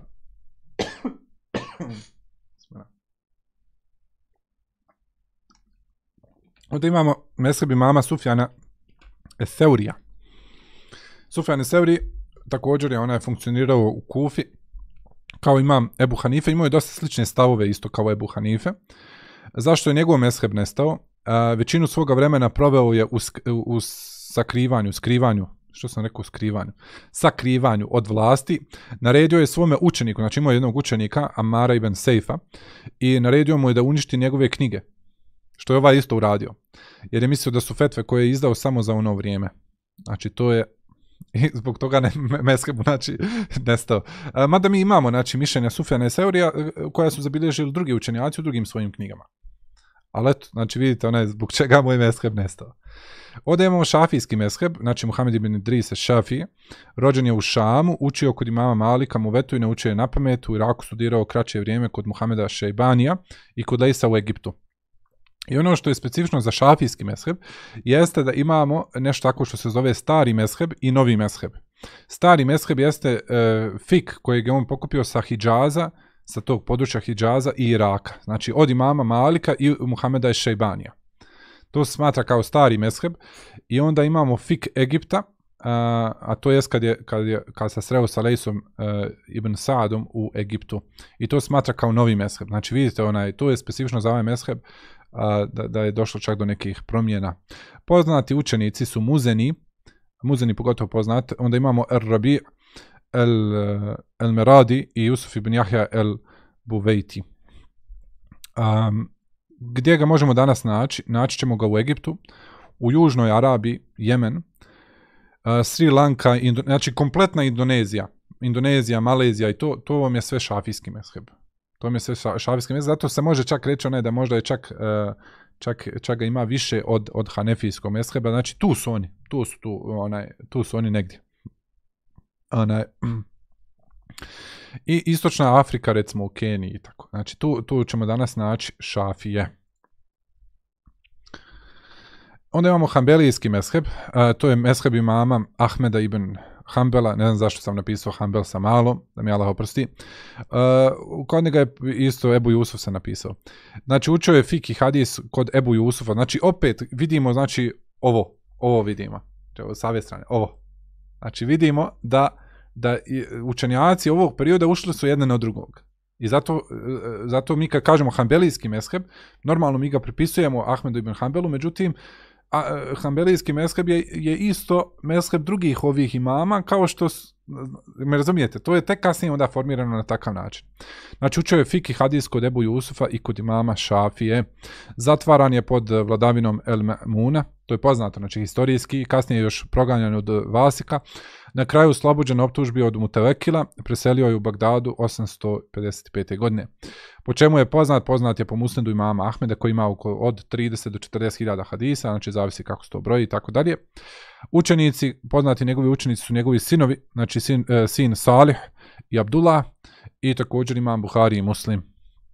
Sledbenici, gdje ih možemo danas naći, E, današnji slebenici imama Ahmeda ibn Hanbala su Saudijska Arabija i Palestina. Znači u Saudijskoj Arabiji to je oficijalni mezheb, a u Palestini do, isto onaj to sam negdje našao, al isto lično onaj dosta palestinaca koje sam ja sreo kažu da su hanbelijske pravne škole, al to Allah ne blizna. Ali, ali ono što je specifično danas jeste da Saudijska Arabija, ovako ćemo reći, da nije bilo Muhameda ibn Abdul Vehaba, danas vjerovatno ne bi bilo hanbelijskog mezheba. I to vam mogu reći onaj, ka, kao, lično kao Hanbelija vam, vam to mogu reći. Znači da nije bilo Muhameda ibn Abdul Wahaba, ne bi bilo danas Hanbelijskog mesheba, zato što Hanbelijski mesheb je polako post, već nestajao. Znači on je, računajte, 16. 17. 18. Znači stoljeća on je već polako nestajao. I da nije došao znači, Muhammed ibn Abdul Wahab, znači ne bi bilo tog mesheba danas. Onda imamo nešto, uh, imamo mesheb koji se zove Zahirijski mesheb, možete i kad čuli za njega. Uh, njegov počnik je Davud ibn Ali uh, Zahiri u Kufi. Što je specifično za ovaj mesheb, uh, jeste da uh, spe, specifičan je bukvalizam i sljeđenje vanjskog značenja i odbacivanje kijasa. Da vam danim jedan primjer. Uh, da ne bude samo informacija nakon informacije. Recimo kad, kad imate, kad se uzme abdest, Allah subhanahu wa ta'ala znači kaže u Kur'anu faghsilu wujuhakum operte vaša lica wa aydiyakum ila al-marafiq i vaše ruke do laktova. Bukvalni prijevod je do laktova, do lakta. E sad Zahirije dolaze i oni kažu sljedeće. Kažu ovako: uh, pošto ovo do, ova ova čestica ili kako se kaže prijedlog ila do, ona se može razumjeti na dva načina prvi, prv, prvo značenje, prvo značenje koje ti padne na pamet jeste da se razumije do bez sa. Do bez sa. A drugo jeste da se razumije do i sa.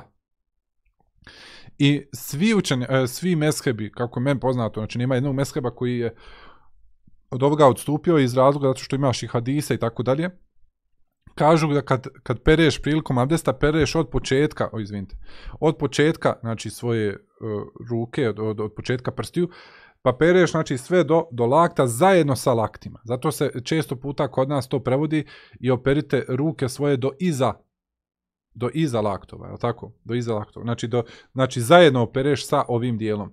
Međutim, kod Zahirija, oni su bukvalisti i oni kažu ovo ila do, znači do bez sa. Znači, kad perem, perem do vamo bez ovog dijela. Bez, ovog dijela. Eto, znači, samo da vidite onaj uh, njih, njihovo razmišljanje. Znači, znači, to je bilo za njih specifično, znači, bukvalizam i odbacivanje, potpuno odbacivanje kijasa. Što je specifično za ovaj mesheb, jeste da je taj mesheb uh, e, umro, zamro je, uh, i onda ga je kasnije uži, u, oživio, reinkarnirao ga je poznati učenjak Alija, ibn Ahmed ibn Hazm el-Endelusi, ili kraće El, e, Ibn Hazm, tako je poznat Ibn Hazm, koji je preselio eh, e, 1070. godine u Španiji. I pazite, to je zanimljivo, znači ovaj mesheb je umro, onda ga je ovaj uživio i skoro 500 godina ovaj mesheb je postojao u Španiji. U stvari, od sam napisao skoro 500 godina, trebao bi napisati preko 400 godina. Znači 400 i kusu, znači godina postojao u Španiji sve dok nisu e, kršćani, kršćani ponovo zauzeli, okupirali Španiju i, i Portugal.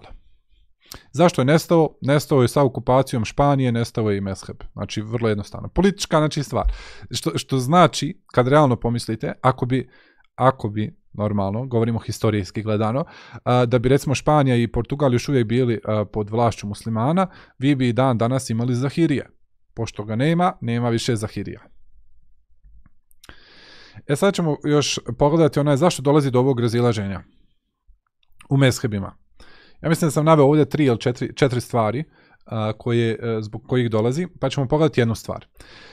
Neka dolazi zbog značenja riječi. Znači, a, pošto smo ljudi, drugačije a, svako na svoj svojstven način razumije riječ. I normalno, a, svako se vraća na izvor, a to jest izvor je arapski jezik, i svako na zbog toga što je arapski jezik toliko bogat, mi možemo određene riječi shvatiti na različite načine.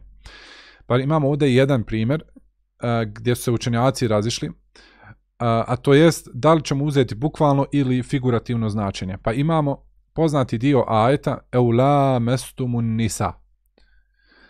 Sad ja ću ga prevesti bukvalno, prevest ću ga bukvalno, ali protumačemo ga. Znači, kad bi bukvalno ovo preveo, ovo znači ili kad dodirnete žene. Drugim riječima, gubiš abdest kad, kad dodirneš ženu. I šafije, šafije, konkretno šafije, ovu riječ la mestum ili lems, dodir, oni su e, ovo shvatili bukvalno i uzeli su bukvalno značenje i rekli su da abdest kvari to kad čovjek dotakne ženu, bez obzira dotakeo je s, e, sa strašću ili bez strašću, bez obzira dotakao je namjerno ili nenamjerno. I često puta zna, znamo se šaliti onaj, i to mi znaju isto govoriti ova, ova moja braća koji su oženi sa ma maležankima. Kažu onaj, da, da ih tako često znači, zezaju, znači diraš je i tako onaj, ono, jednim prstom je dirneš i kažeš sad si zgubla abdest. a, a isto imaju problema, onaj, kad odu na hađ. Da, da, jer ako vi uzmete stav onaj, da bez obzira namjerno, nenamjerno dodirnuo, ti ćeš na hađu dodirnuti ženu zbog gužve, zbog gužve oko tavafa i tako dalje, imaju, imaju često problem znači zbog toga što nećemo sad ulaziti. Znači to je recimo jedan, e, normalno to, nije, to je zvanični stav, tako ćemo zvanični stav tog mesheba. Onda imamo Malika i Ahmeda, znači Malikije i Hanbelije, oni kažu da se da se ovdje misli da čovjek izgubi avde samo ako dodirne ženu sa strašću. Samo s čime? Sa strašću. Uh, I onda imamo Hanefije, odnosno Ebu Hanife, uzeo ovdje stav i Allah ne bi znao, ovo je najispravniji stav u ovom poglavlju, a to je da se pod ovome Eula mestumu nisa ne misli na dodir, na dodir, nego se misli na figurativno, a to je da se misli na spolni odnos. Znači, spolni odnos, e, kvariti abdest i kvariti, znači, normalno trebaš, e, trebaš uzeti gusul. A, evo, ako sam već otvorio ovu temu, jel, Pandorinu ovaj, kuticu, a, šta je dokaz? Ovo dokaz je, znači, e, govora Iše radi Allahu Anha, koja kaže da je Allahu poslanik, sallallahu alaihi vseleme poljubio jednu od svojih žena i nakon toga otišao klanjati. I tu je kraj priče. Znači, po, ako poljubac ne kvari abdest, onda normalno i ovakvi dodiri, bez obzira sa strašću ili bez strašću, ne kvare također. E, to je samo jedan primjer. I nećemo više se zadržavati ovdje jer ostaćemo, vjerujte mi, ja mogu o ovome pričati, ja vjerujem da u, u budućim emisijama moći ćemo još više govoriti o ovome, inšala. Onda nekad dolazi zbog hadisa problem. Znači, zbog hadisa imamo razilaženje. Zašto? Imaš, znači, nekoga ko, recimo, i, e, imaš dostupno, im, do, dostupni su mu hadisi, do drugog učenjaka recimo neki hadis ne, do, ne dostigne. Sad će neko reći pa kako je to moguće? Pa fino. Ako vi imate tako veliki teritorij kao što smo malo prije znači, mogli vidjeti, znači koji pokriva od, od Španije pa sve znači do, do Indije ide islamski teritorij, normalno da ćete imati onaj isto isto, uh, isto ovu problematiku. Znači, ne, prije nije bilo interneta, znači nemoguće je bilo da, da se šalju hadisi i tako dalje. Znači, mo, moguće je da neki hadis uh, nije nikad došao do nekog učenjaka, a do drugog je došao. Onda imate isto problem uh, po pitanju slabih hadisa, ili da kažem, tome ovako ću reći, malo, malo ljepše ću se izraziti, da nekad dođe do toga da imate nekog učenjaka koji neki hadis ocijeni vjerodostojnim, a drugi učenjaci ga ocijene nevjerodostojnim. Znači nekad čak ima u tom pogledu ima neko razilaženje. Konkretni hadis zato jeste hadis o povraćanju, da povraćanje kad čovjek na, namjerno, odnosno kad povrati, da mu to pokvari abdest. Pa imate Ebu Hanifu i Ahmeda koji su taj hadis smatrali vjerodostojnim i rekli da povraćanje kvari abdest, međutim Šafija i Malik su smatrali taj hadis nevjerodostojnim i on doista jest nevjerodostojan i zato kažemo da povraćanje ne kvari abdest. I to je ispravan stav. A nekad isto je bio problem uvjet, u, u, u, kakve uvjete je neki učenjak postavio da bi da bi uzeo neki hadis za ispravnost hadisa. Neka se isto tu onaj razilaže, razilaze, možda je neki, neki učenjak znači, stavio neke uvjete uh, koji su, da kažem, to je malo stroži uvjeti od nekog drugog učenjaka koji je možda bio mutesahil, kao što se to kaže, odnosno bio je dosta tolerantan u tom pogledu. I normalno onda, znači, ako neko koristi jedan hadis, drugi ga ne koristi, odmah ćeš imati problem. Onda nekad same osnove u suli, kao što najbolji primjer je tu ima Malik, e, koji je uzimao dijela, odnosno praksu stanovnika Medine. Ili, um, ja mislim da je ispravno da se kaže dijela, ali eto, e, možda će me neko od mojih kolega ispraviti da, da možda je, ima neki običaj stanovnika Medine, možda je ljepši izraz što recimo drugi nisu uzimali. Pa je tako onda on normalno određene propise u što, u što sad nećemo ulaziti, uh, recimo stavio, stavio kao legitimne propise, da drugi to nisu radili. Onda imamo isto kijas, analogiju, i tu imate najviše razilaženja, upravo, znači, upravo zbog toga, zato što ljudi imaju um, različiti, različit kapacitet i tako dalje, i normalno drugačije, drugačije gledaju na neku stvar. Dobro, da malo, da malo odmorimo. A ako ima neko neko pitanje, burum, pa ćemo pokušavati odgovoriti.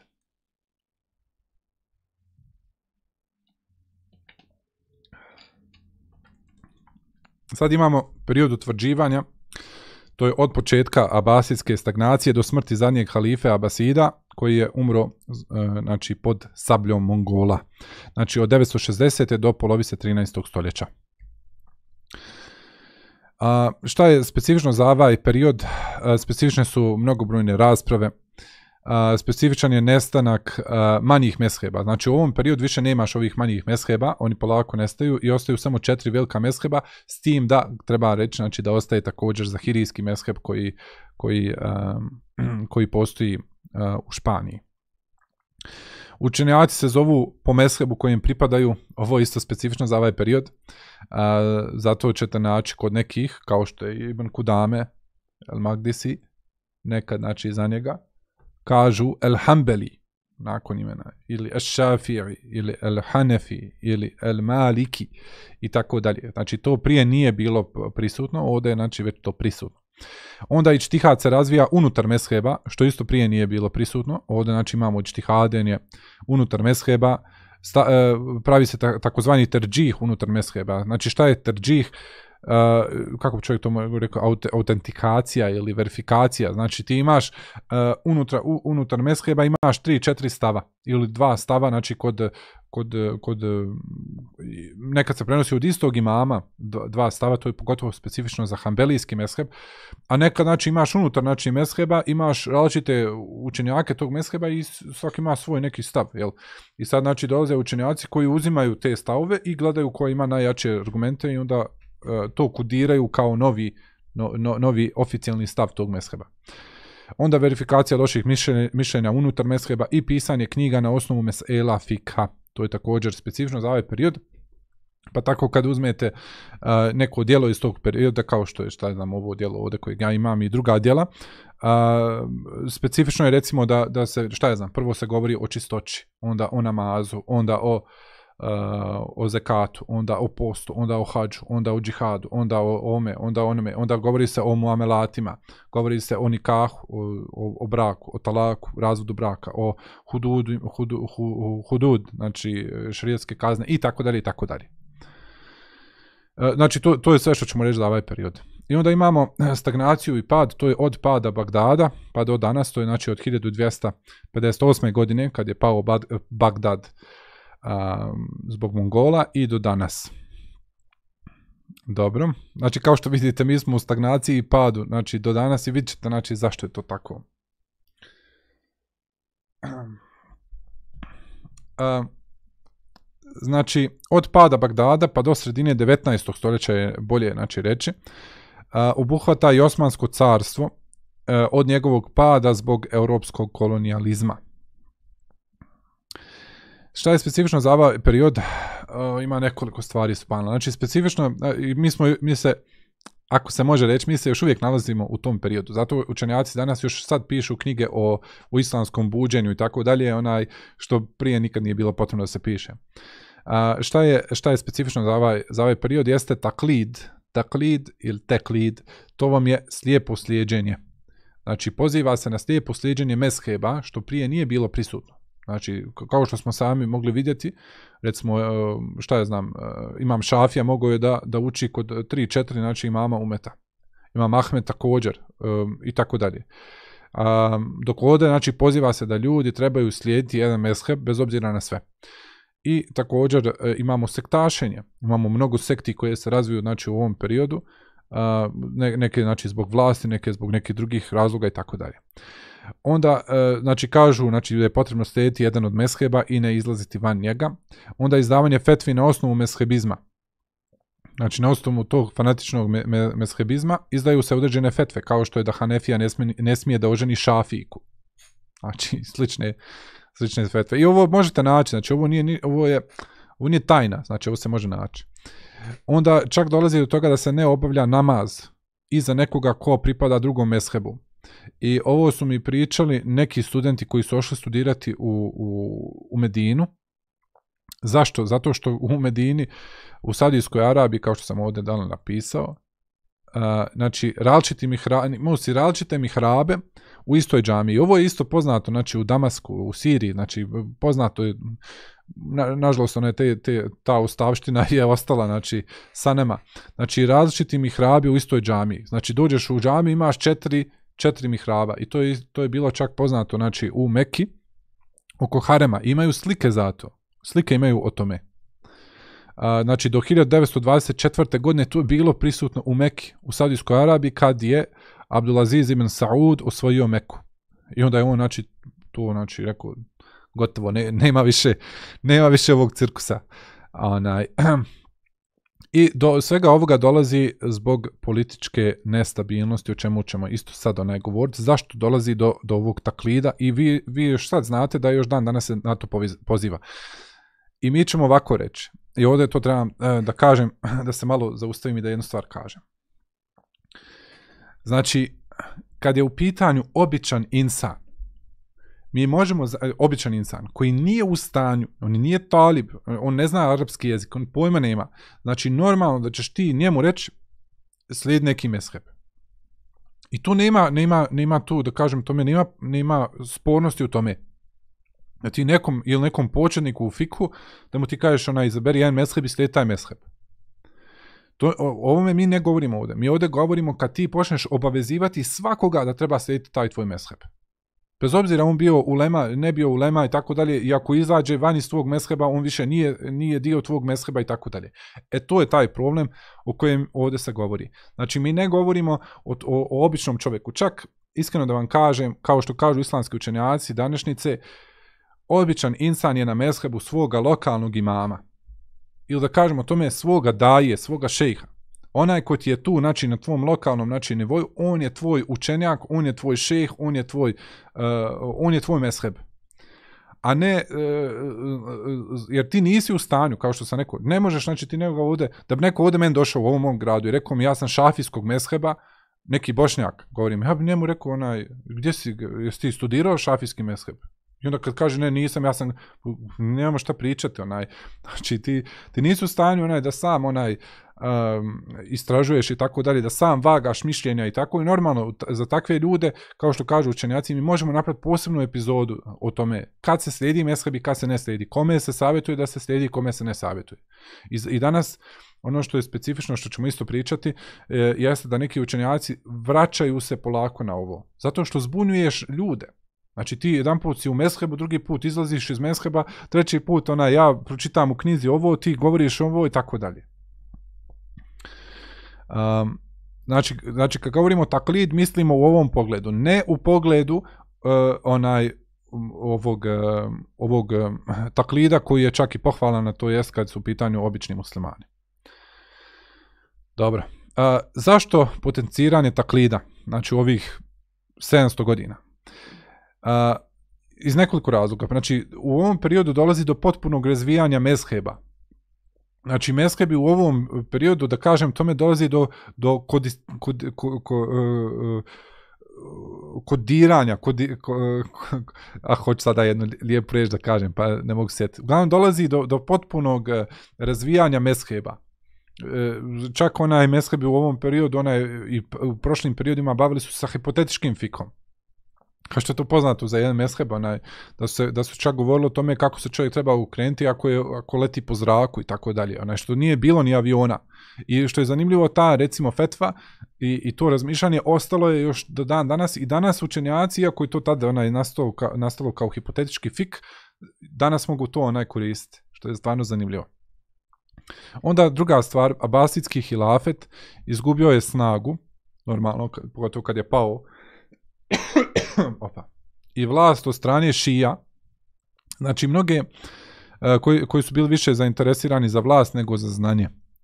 A, znači, to isto možete naći u historiji, da određeni period, onaj, pogotovo pod, pod vlasništvom Fatimida, vi ćete naći tamo onaj, mnogo, mnogo razvijanja mnogih novotarija i tako dalje, zabluda i tako, upravo znači zbog, zbog e, šiitskog onaj, djelovanja.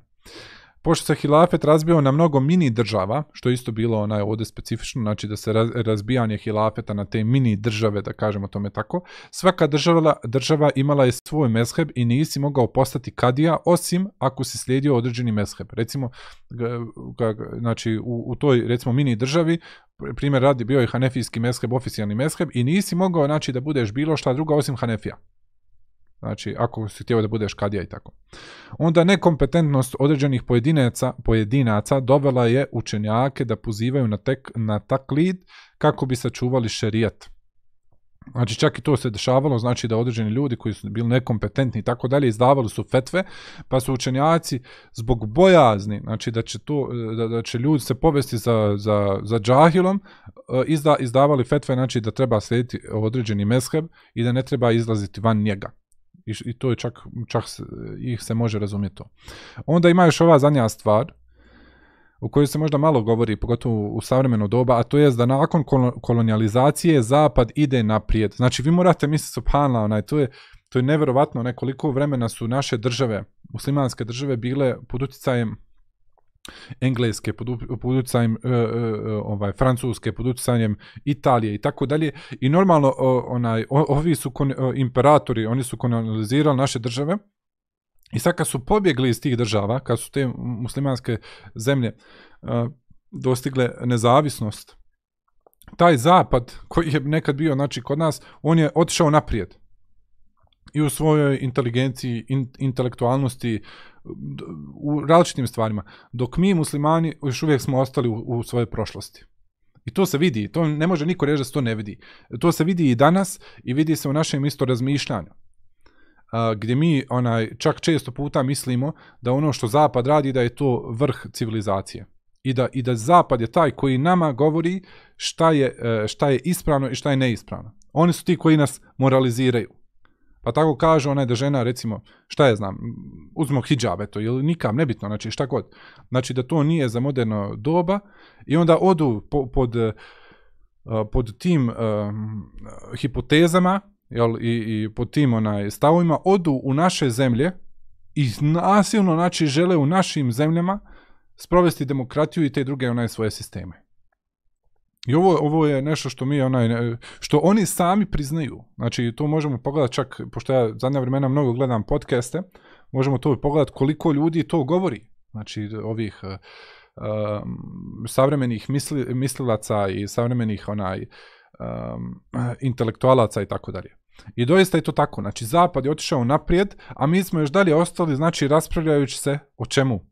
Da li si Hanefija, da li si ovo, da li je ovo, da, da li treba slijediti Mesheb, ne treba slijediti Mesheb, smije se izaći van iz Mesheba, e, pričamo onaj, o, o, o temama, šta ja znam, onaj, Ešarije, Maturidije, Kaderije, šta, šta ti ja znam, znači još dalje smo znači, tu zaokopirani tim temama, a ne idemo naprijed ne idemo naprijed, ne, ne vidimo znači da imamo nove izazove, da ljudi ostavljaju vjeru danas.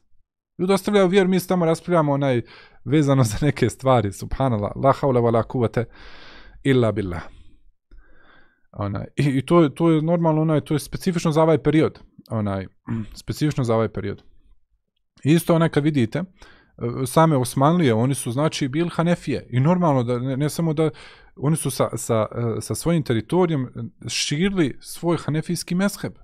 I nisi mogu biti ništa drugo osim Hanefija, znači na njihovom teritoriju. I normalno, znači onda došli kolonijali, e, ovaj, imperatori, zauzeli naše zemlje, ona, i kad su otišli, mi, mi smo još dalje ostali u, ne znam, u, u 1258. kad je pao Bagdad. Ili šta ja znam, koje god godine. Onaj kad, kad je Kolumbus otkrio Ameriku. Mislim, to, to, to se još vidi, vidi se to.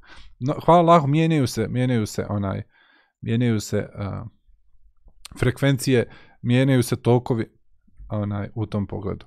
I zato ovde, nisam htio ništa ovde spominjati, iz razloga zato što ovo zna biti kontraverzno za mnoge ljude, ali, ali mogu spomenuti par imena. Recimo, tri imena ću samo spomenuti. Eto, samo tri imena.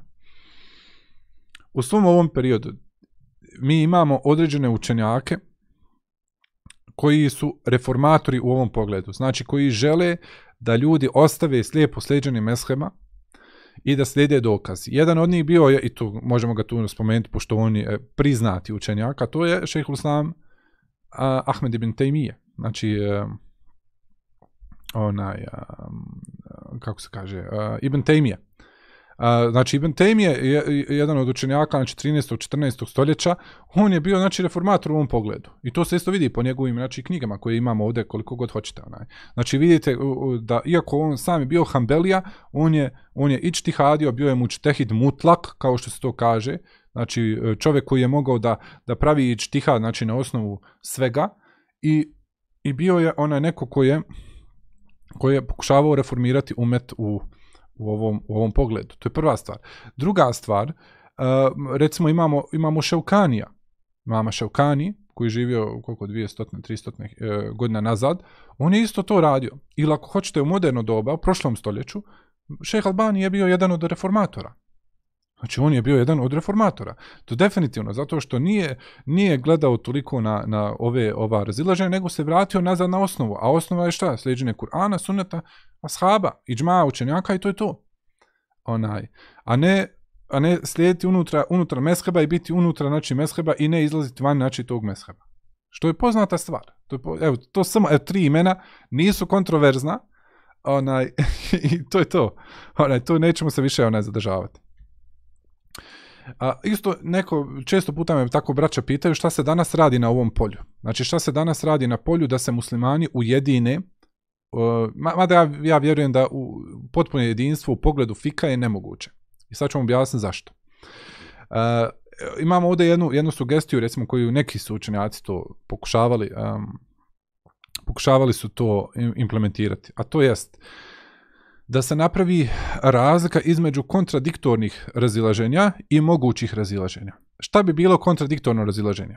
Sad ću vam znači dati jedan primjer.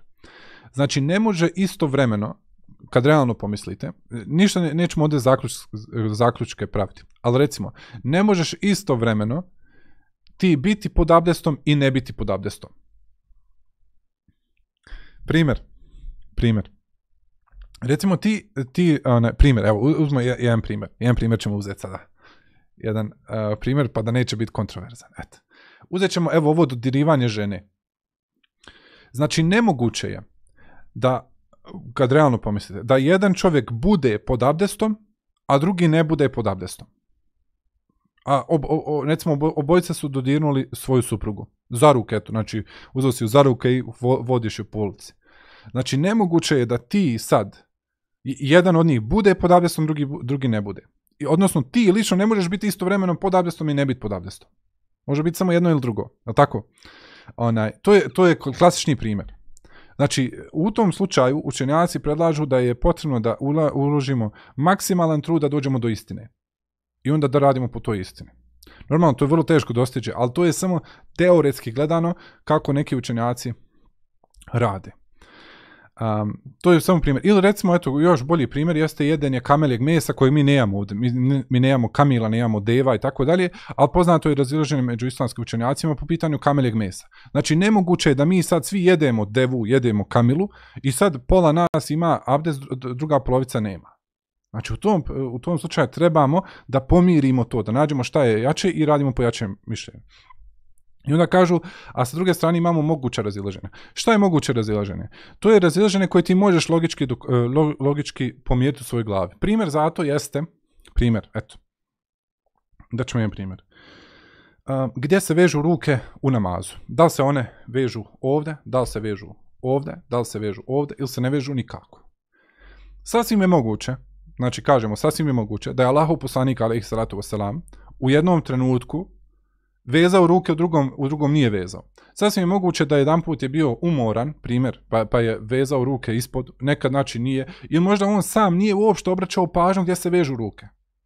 To je samo kažemo, znači da je, sa, da je sasvim može, moguće, sallallahu alaihi wasallam. I oni su znači podijeli kontradiktorno, e, znači razilaženja u kontradiktorna razilaženja i moguća razilaženja. Znači ona moguća razilaženja mi ćemo tolerirati i reći ok, neka, neka ostanu.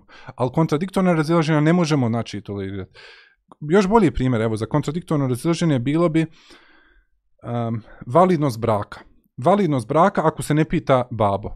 Recimo ti hoćeš da oženiš neku sestru i tako dalje, ti sad uzmeš stav Hanefija i kažeš meni je brak ispravan, zašto? Zato, zato što kod nas ne trebaš da pitaš babu.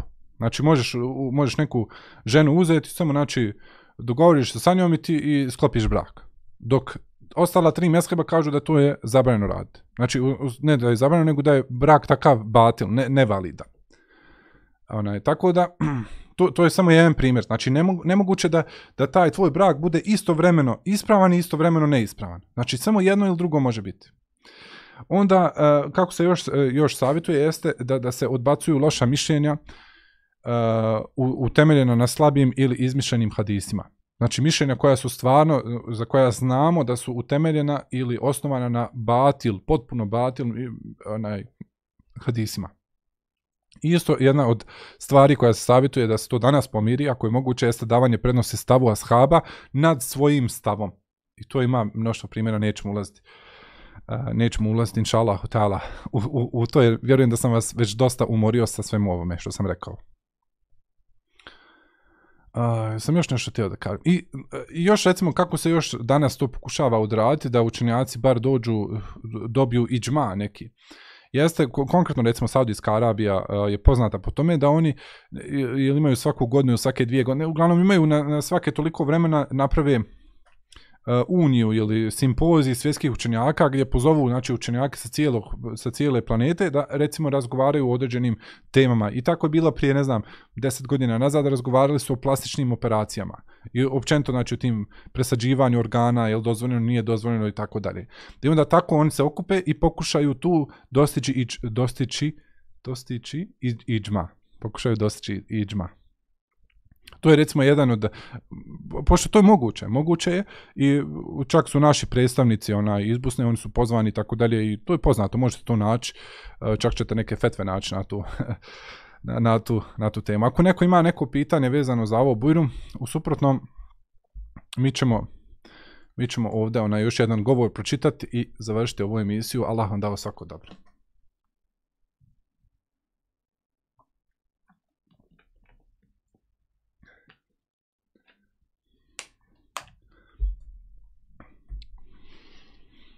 Sad, kakav bi, bio, kakav bi trebao biti naš odnos u ovom pogledu? Ja ću vam ovdje pročitati jedan govor jednog islamskog učenjaka da vidite da mi ne trebamo jedan drugog napadati, kritikovati, um, ponižavati zato što zauzmemo drugačiji stav, nego da trebamo ostati braća. I da nas ova razilaženja ne trebaju razjediniti, nego nas trebaju ujediniti. Sad ćete vidjeti zašto. Zato kod mene lično nikad nećete vidjeti da je ovo problem. Ja sam čak ovdje u ove, naše, u ove moje emisije, svoje emisije, pozvao nekoliko braće koji su hanefijskog mesheba. Da dođu i da pričamo o hanefijskom meshebu i ničemu drugom. Znači ja sam ja kao Hambelija, odnosno kao neko ko 80-90% mišljenja koja uzimam, uzimam znači iz Hambelijskog mesheba to nije nešto negativno, obzirom da smo učili učili dijela Hanbeli, Hambelijskog mesheba pozvao sam znači svoju braću Hanefija da dođu i neka, neka pokažu, neka, neka prezentiraju šta se može učiti iz Hanefijskog mesheba na, u, na boskom jeziku i a, bitnost Hanefijskog, historijat, neko sve znači objaš, objasne i inša da ćemo nekad u budućnosti isto, isto to napraviti. E, Pročišćemo ćemo ovdje samo jedan još govor, pa Allah vam dao svako dobro, pokušajte se još malo skoncentrirati. Kaže pitanje. Koje su najznačajnije karakteristike spašene skupine, to jest ahli sunneta wal džemata, sunija, da li mankavost u nekoj osobini izvodi čovjeka iz spašene skupine? Odgovor. Najznačajnije karakteristike spašene skupine ugledaju se u njihovom pridržavanju onoga na čemu je bio vjerovjesnik sallallahu alaihi wasallame. U akidi, to jest vjerovanju, ibadetu, obožavanju i ahlaku, ponašanju i međuljudskim, međuljudskim odnosima. Ovo su četiri stvari u kojima je spašena skupina najznačajnija. Akida, odnosno vjerovanje. Pripadnici spašene skupine pridržavaju se Allahove knjige i suneta njegovog poslanika, salallahu alaihi wasalame, iskreno ispovjedajući teuhidu u luhijetu uzvišenog Allaha, znači samo da se uzvišeni Allah obožava, njegovom rububijetu samo da je uzvišeni Allah gospodar svega i njegovim imenima i svojstvima. Ibadet spašen, znači u pogledu ibadeta, spašena skupina istaknuta je u potpunom pridržavanju i prakticiranju onoga na čemu je bio vjerovjesnik sallallahu alejhi ve selleme u pogledu ibadeta, njegovih vrsti, karakteristika, količine, vremena, mjesta i povoda. Kod njih ne možemo naći uvođenje novotarija u Allahovu vjeru. Oni se najbolje ponašaju prema uzvišenom Allahu i njegovom poslaniku sallallahu alejhi ve selleme. Oni se ne postavljaju ispred Allaha i njegovog poslanika u uvođenju nekog ibadeta kojeg prethodno nije odobrio uzvišeni Allah. Što se tiče ahlaka, spašena skupina ističe se od drugih sa lijepim ahlakom kao što je da vole dobro muslimanima, da su otvorenih prsa, radosnog lica, da govore dobro, da su darežljivi, hrabri i da imaju druge osobine lijepog ahlaka. Međuljudski odnosi. Ophode se sa ljudima iskreno i otvoreno kao što je to objasnio vjerovjesnik sallallahu alejhi ve selleme kada je rekao kupoprodavci imaju pravo izbora da prihvate ili ne prihvate kupoprodaju dok se nisu rastavili. Pa ako su bili iskreni i otvoreni, to jest međusobno se e, raz, razjasnili, bit će obojici bereket blagoslov u njihovoj kupoprodaji, a ako su jedan drugom nešto slagali ili prekrili, neće biti bereketa blagoslova u njihovoj kupoprodaji. Manjkovost u nekoj osobini ne izvodi čovjeka iz spašene skupine, međutim svako je na stupnju, odnosno da ređi, prema svojim dijelima. Manjkavost u pogledu razumijevanja i vjerovanja u teuhid može čovjeka izvesti iz spašene skupine. Na primjer, čovjek koji ne radi dijela iskreno Allaha radi i uvodi novotarije u vjeru, moguće je da dođe sa novotarijom koja će ga izvesti iz spašene skupine. Manjkovost u pitanjima ahlaka i međuljudskim odnosima ne izvodi čovjeka iz spašene skupine, iako može smanjiti njegov stupanj, odnosno da ređu. Potrebno je detaljno objašnjenje stvari koje se vežu za pitanja ahlaka. Od najboljih stvari koje se tiču ahlaka je jedinstvo riječi i složnost na istini koju nam je naredio uzvišeni Allah kada je rekao on vam propisuje u vjeri isto ono što je naredio Nuhu i ono što objavljujemo tebi i ono što smo naredili Ibrahimu i Musavu i Isau. Pravu vjeru ispovjedajte i u tome se ne podvajajte.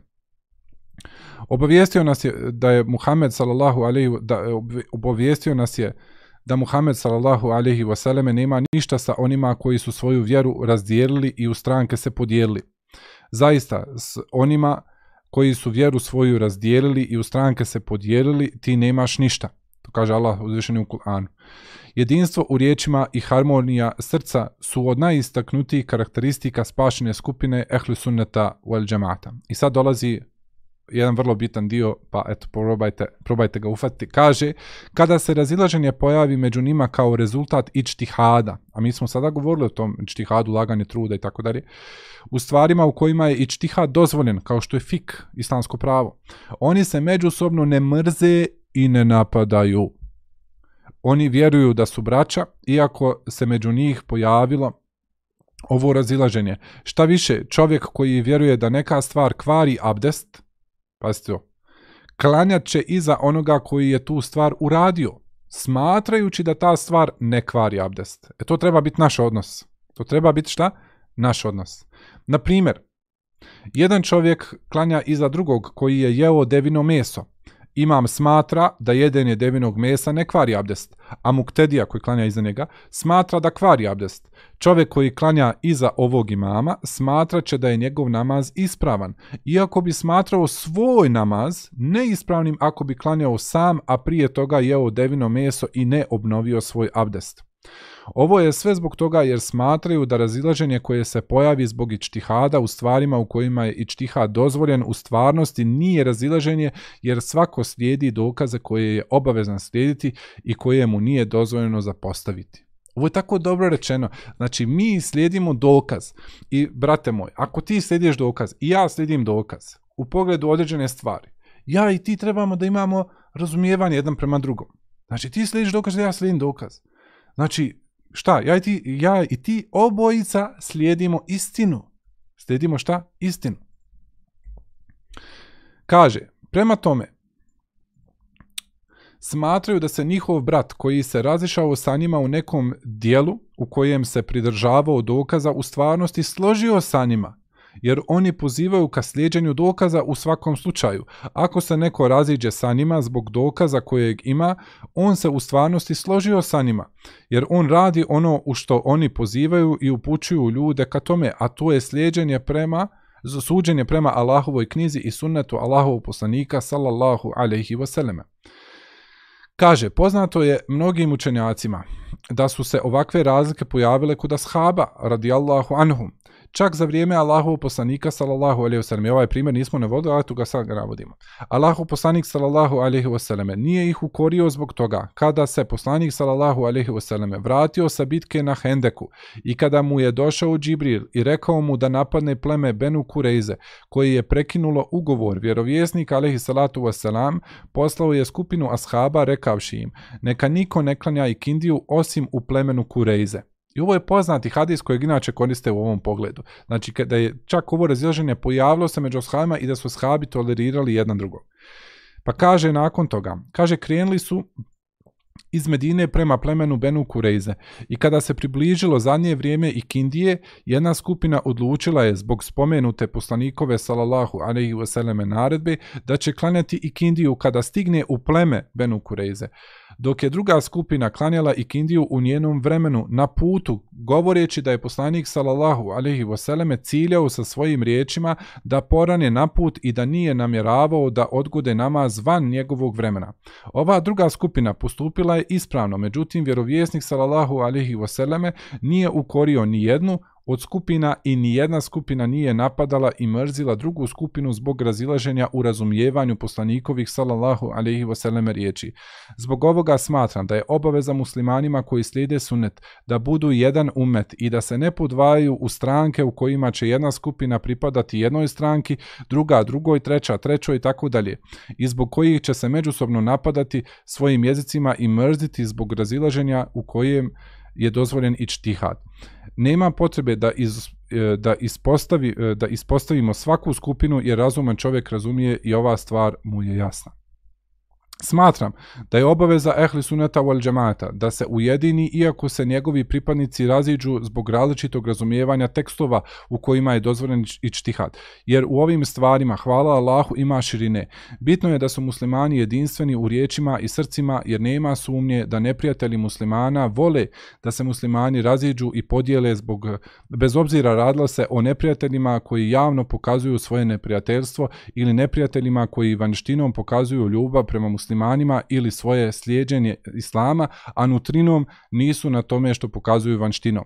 Zbog toga je naša obaveza da se okitimo sa ovom karakteristikom spašene skupine, a to je da smo složni i okupljeni oko zajedničke riječi, odgovorio šejh Ibn Usaymin e, to je znači to što sam htio da vam danas prezentiram i nadam se da sam samim zadnjim govorom pokazao da mi svi trebamo biti tolerantni jedan prema drugom, pa tako ako vidimo da se raziđemo u pogledu jedne stvari, ne trebamo jedan drugog napadati, ne trebamo jedan drugog kritikovati, ne trebamo jedan drugog onaj, smatrati da smo da, da je neko manje vrijedan od nekoga drugog i tako dalje, trebamo biti braća muslimani. Jer mi kad se raziđemo, ti, brate, slidiš jedan mesheb zato što vjeruješ, znači da je taj mesheb koristi taj i taj dokaz i smatraš da je to tako i smatraš da treba raditi po tim dokazima. Ja lično smatram da ne treba raditi po tome da imaju drugi dokazi koji su bolji dokazi, koji su jači dokazi i tako dalje. Međutim, tu ne treba da ja i ti onaj budemo sad e, na ratnoj bazi, pa da ratujemo jedan protiv drugog, nego trebamo da budemo braća, da budemo muslimani, da radimo zajedno i da radimo na onome na onome što je što je najbitnije a to je da radimo djela koja će nas uvesti u džennet i odaljiti nas od vatre. Pa tako savim bi ja lično završio ovaj moj podcast ovu svoju emisiju danas. Ako neko još ima neku stvar da kaže bujrum uh, objasnit ćemo neki komentar. Allah vam dao svako dobro. Assalamu alaikum wa rahmetullah wa barakatuh.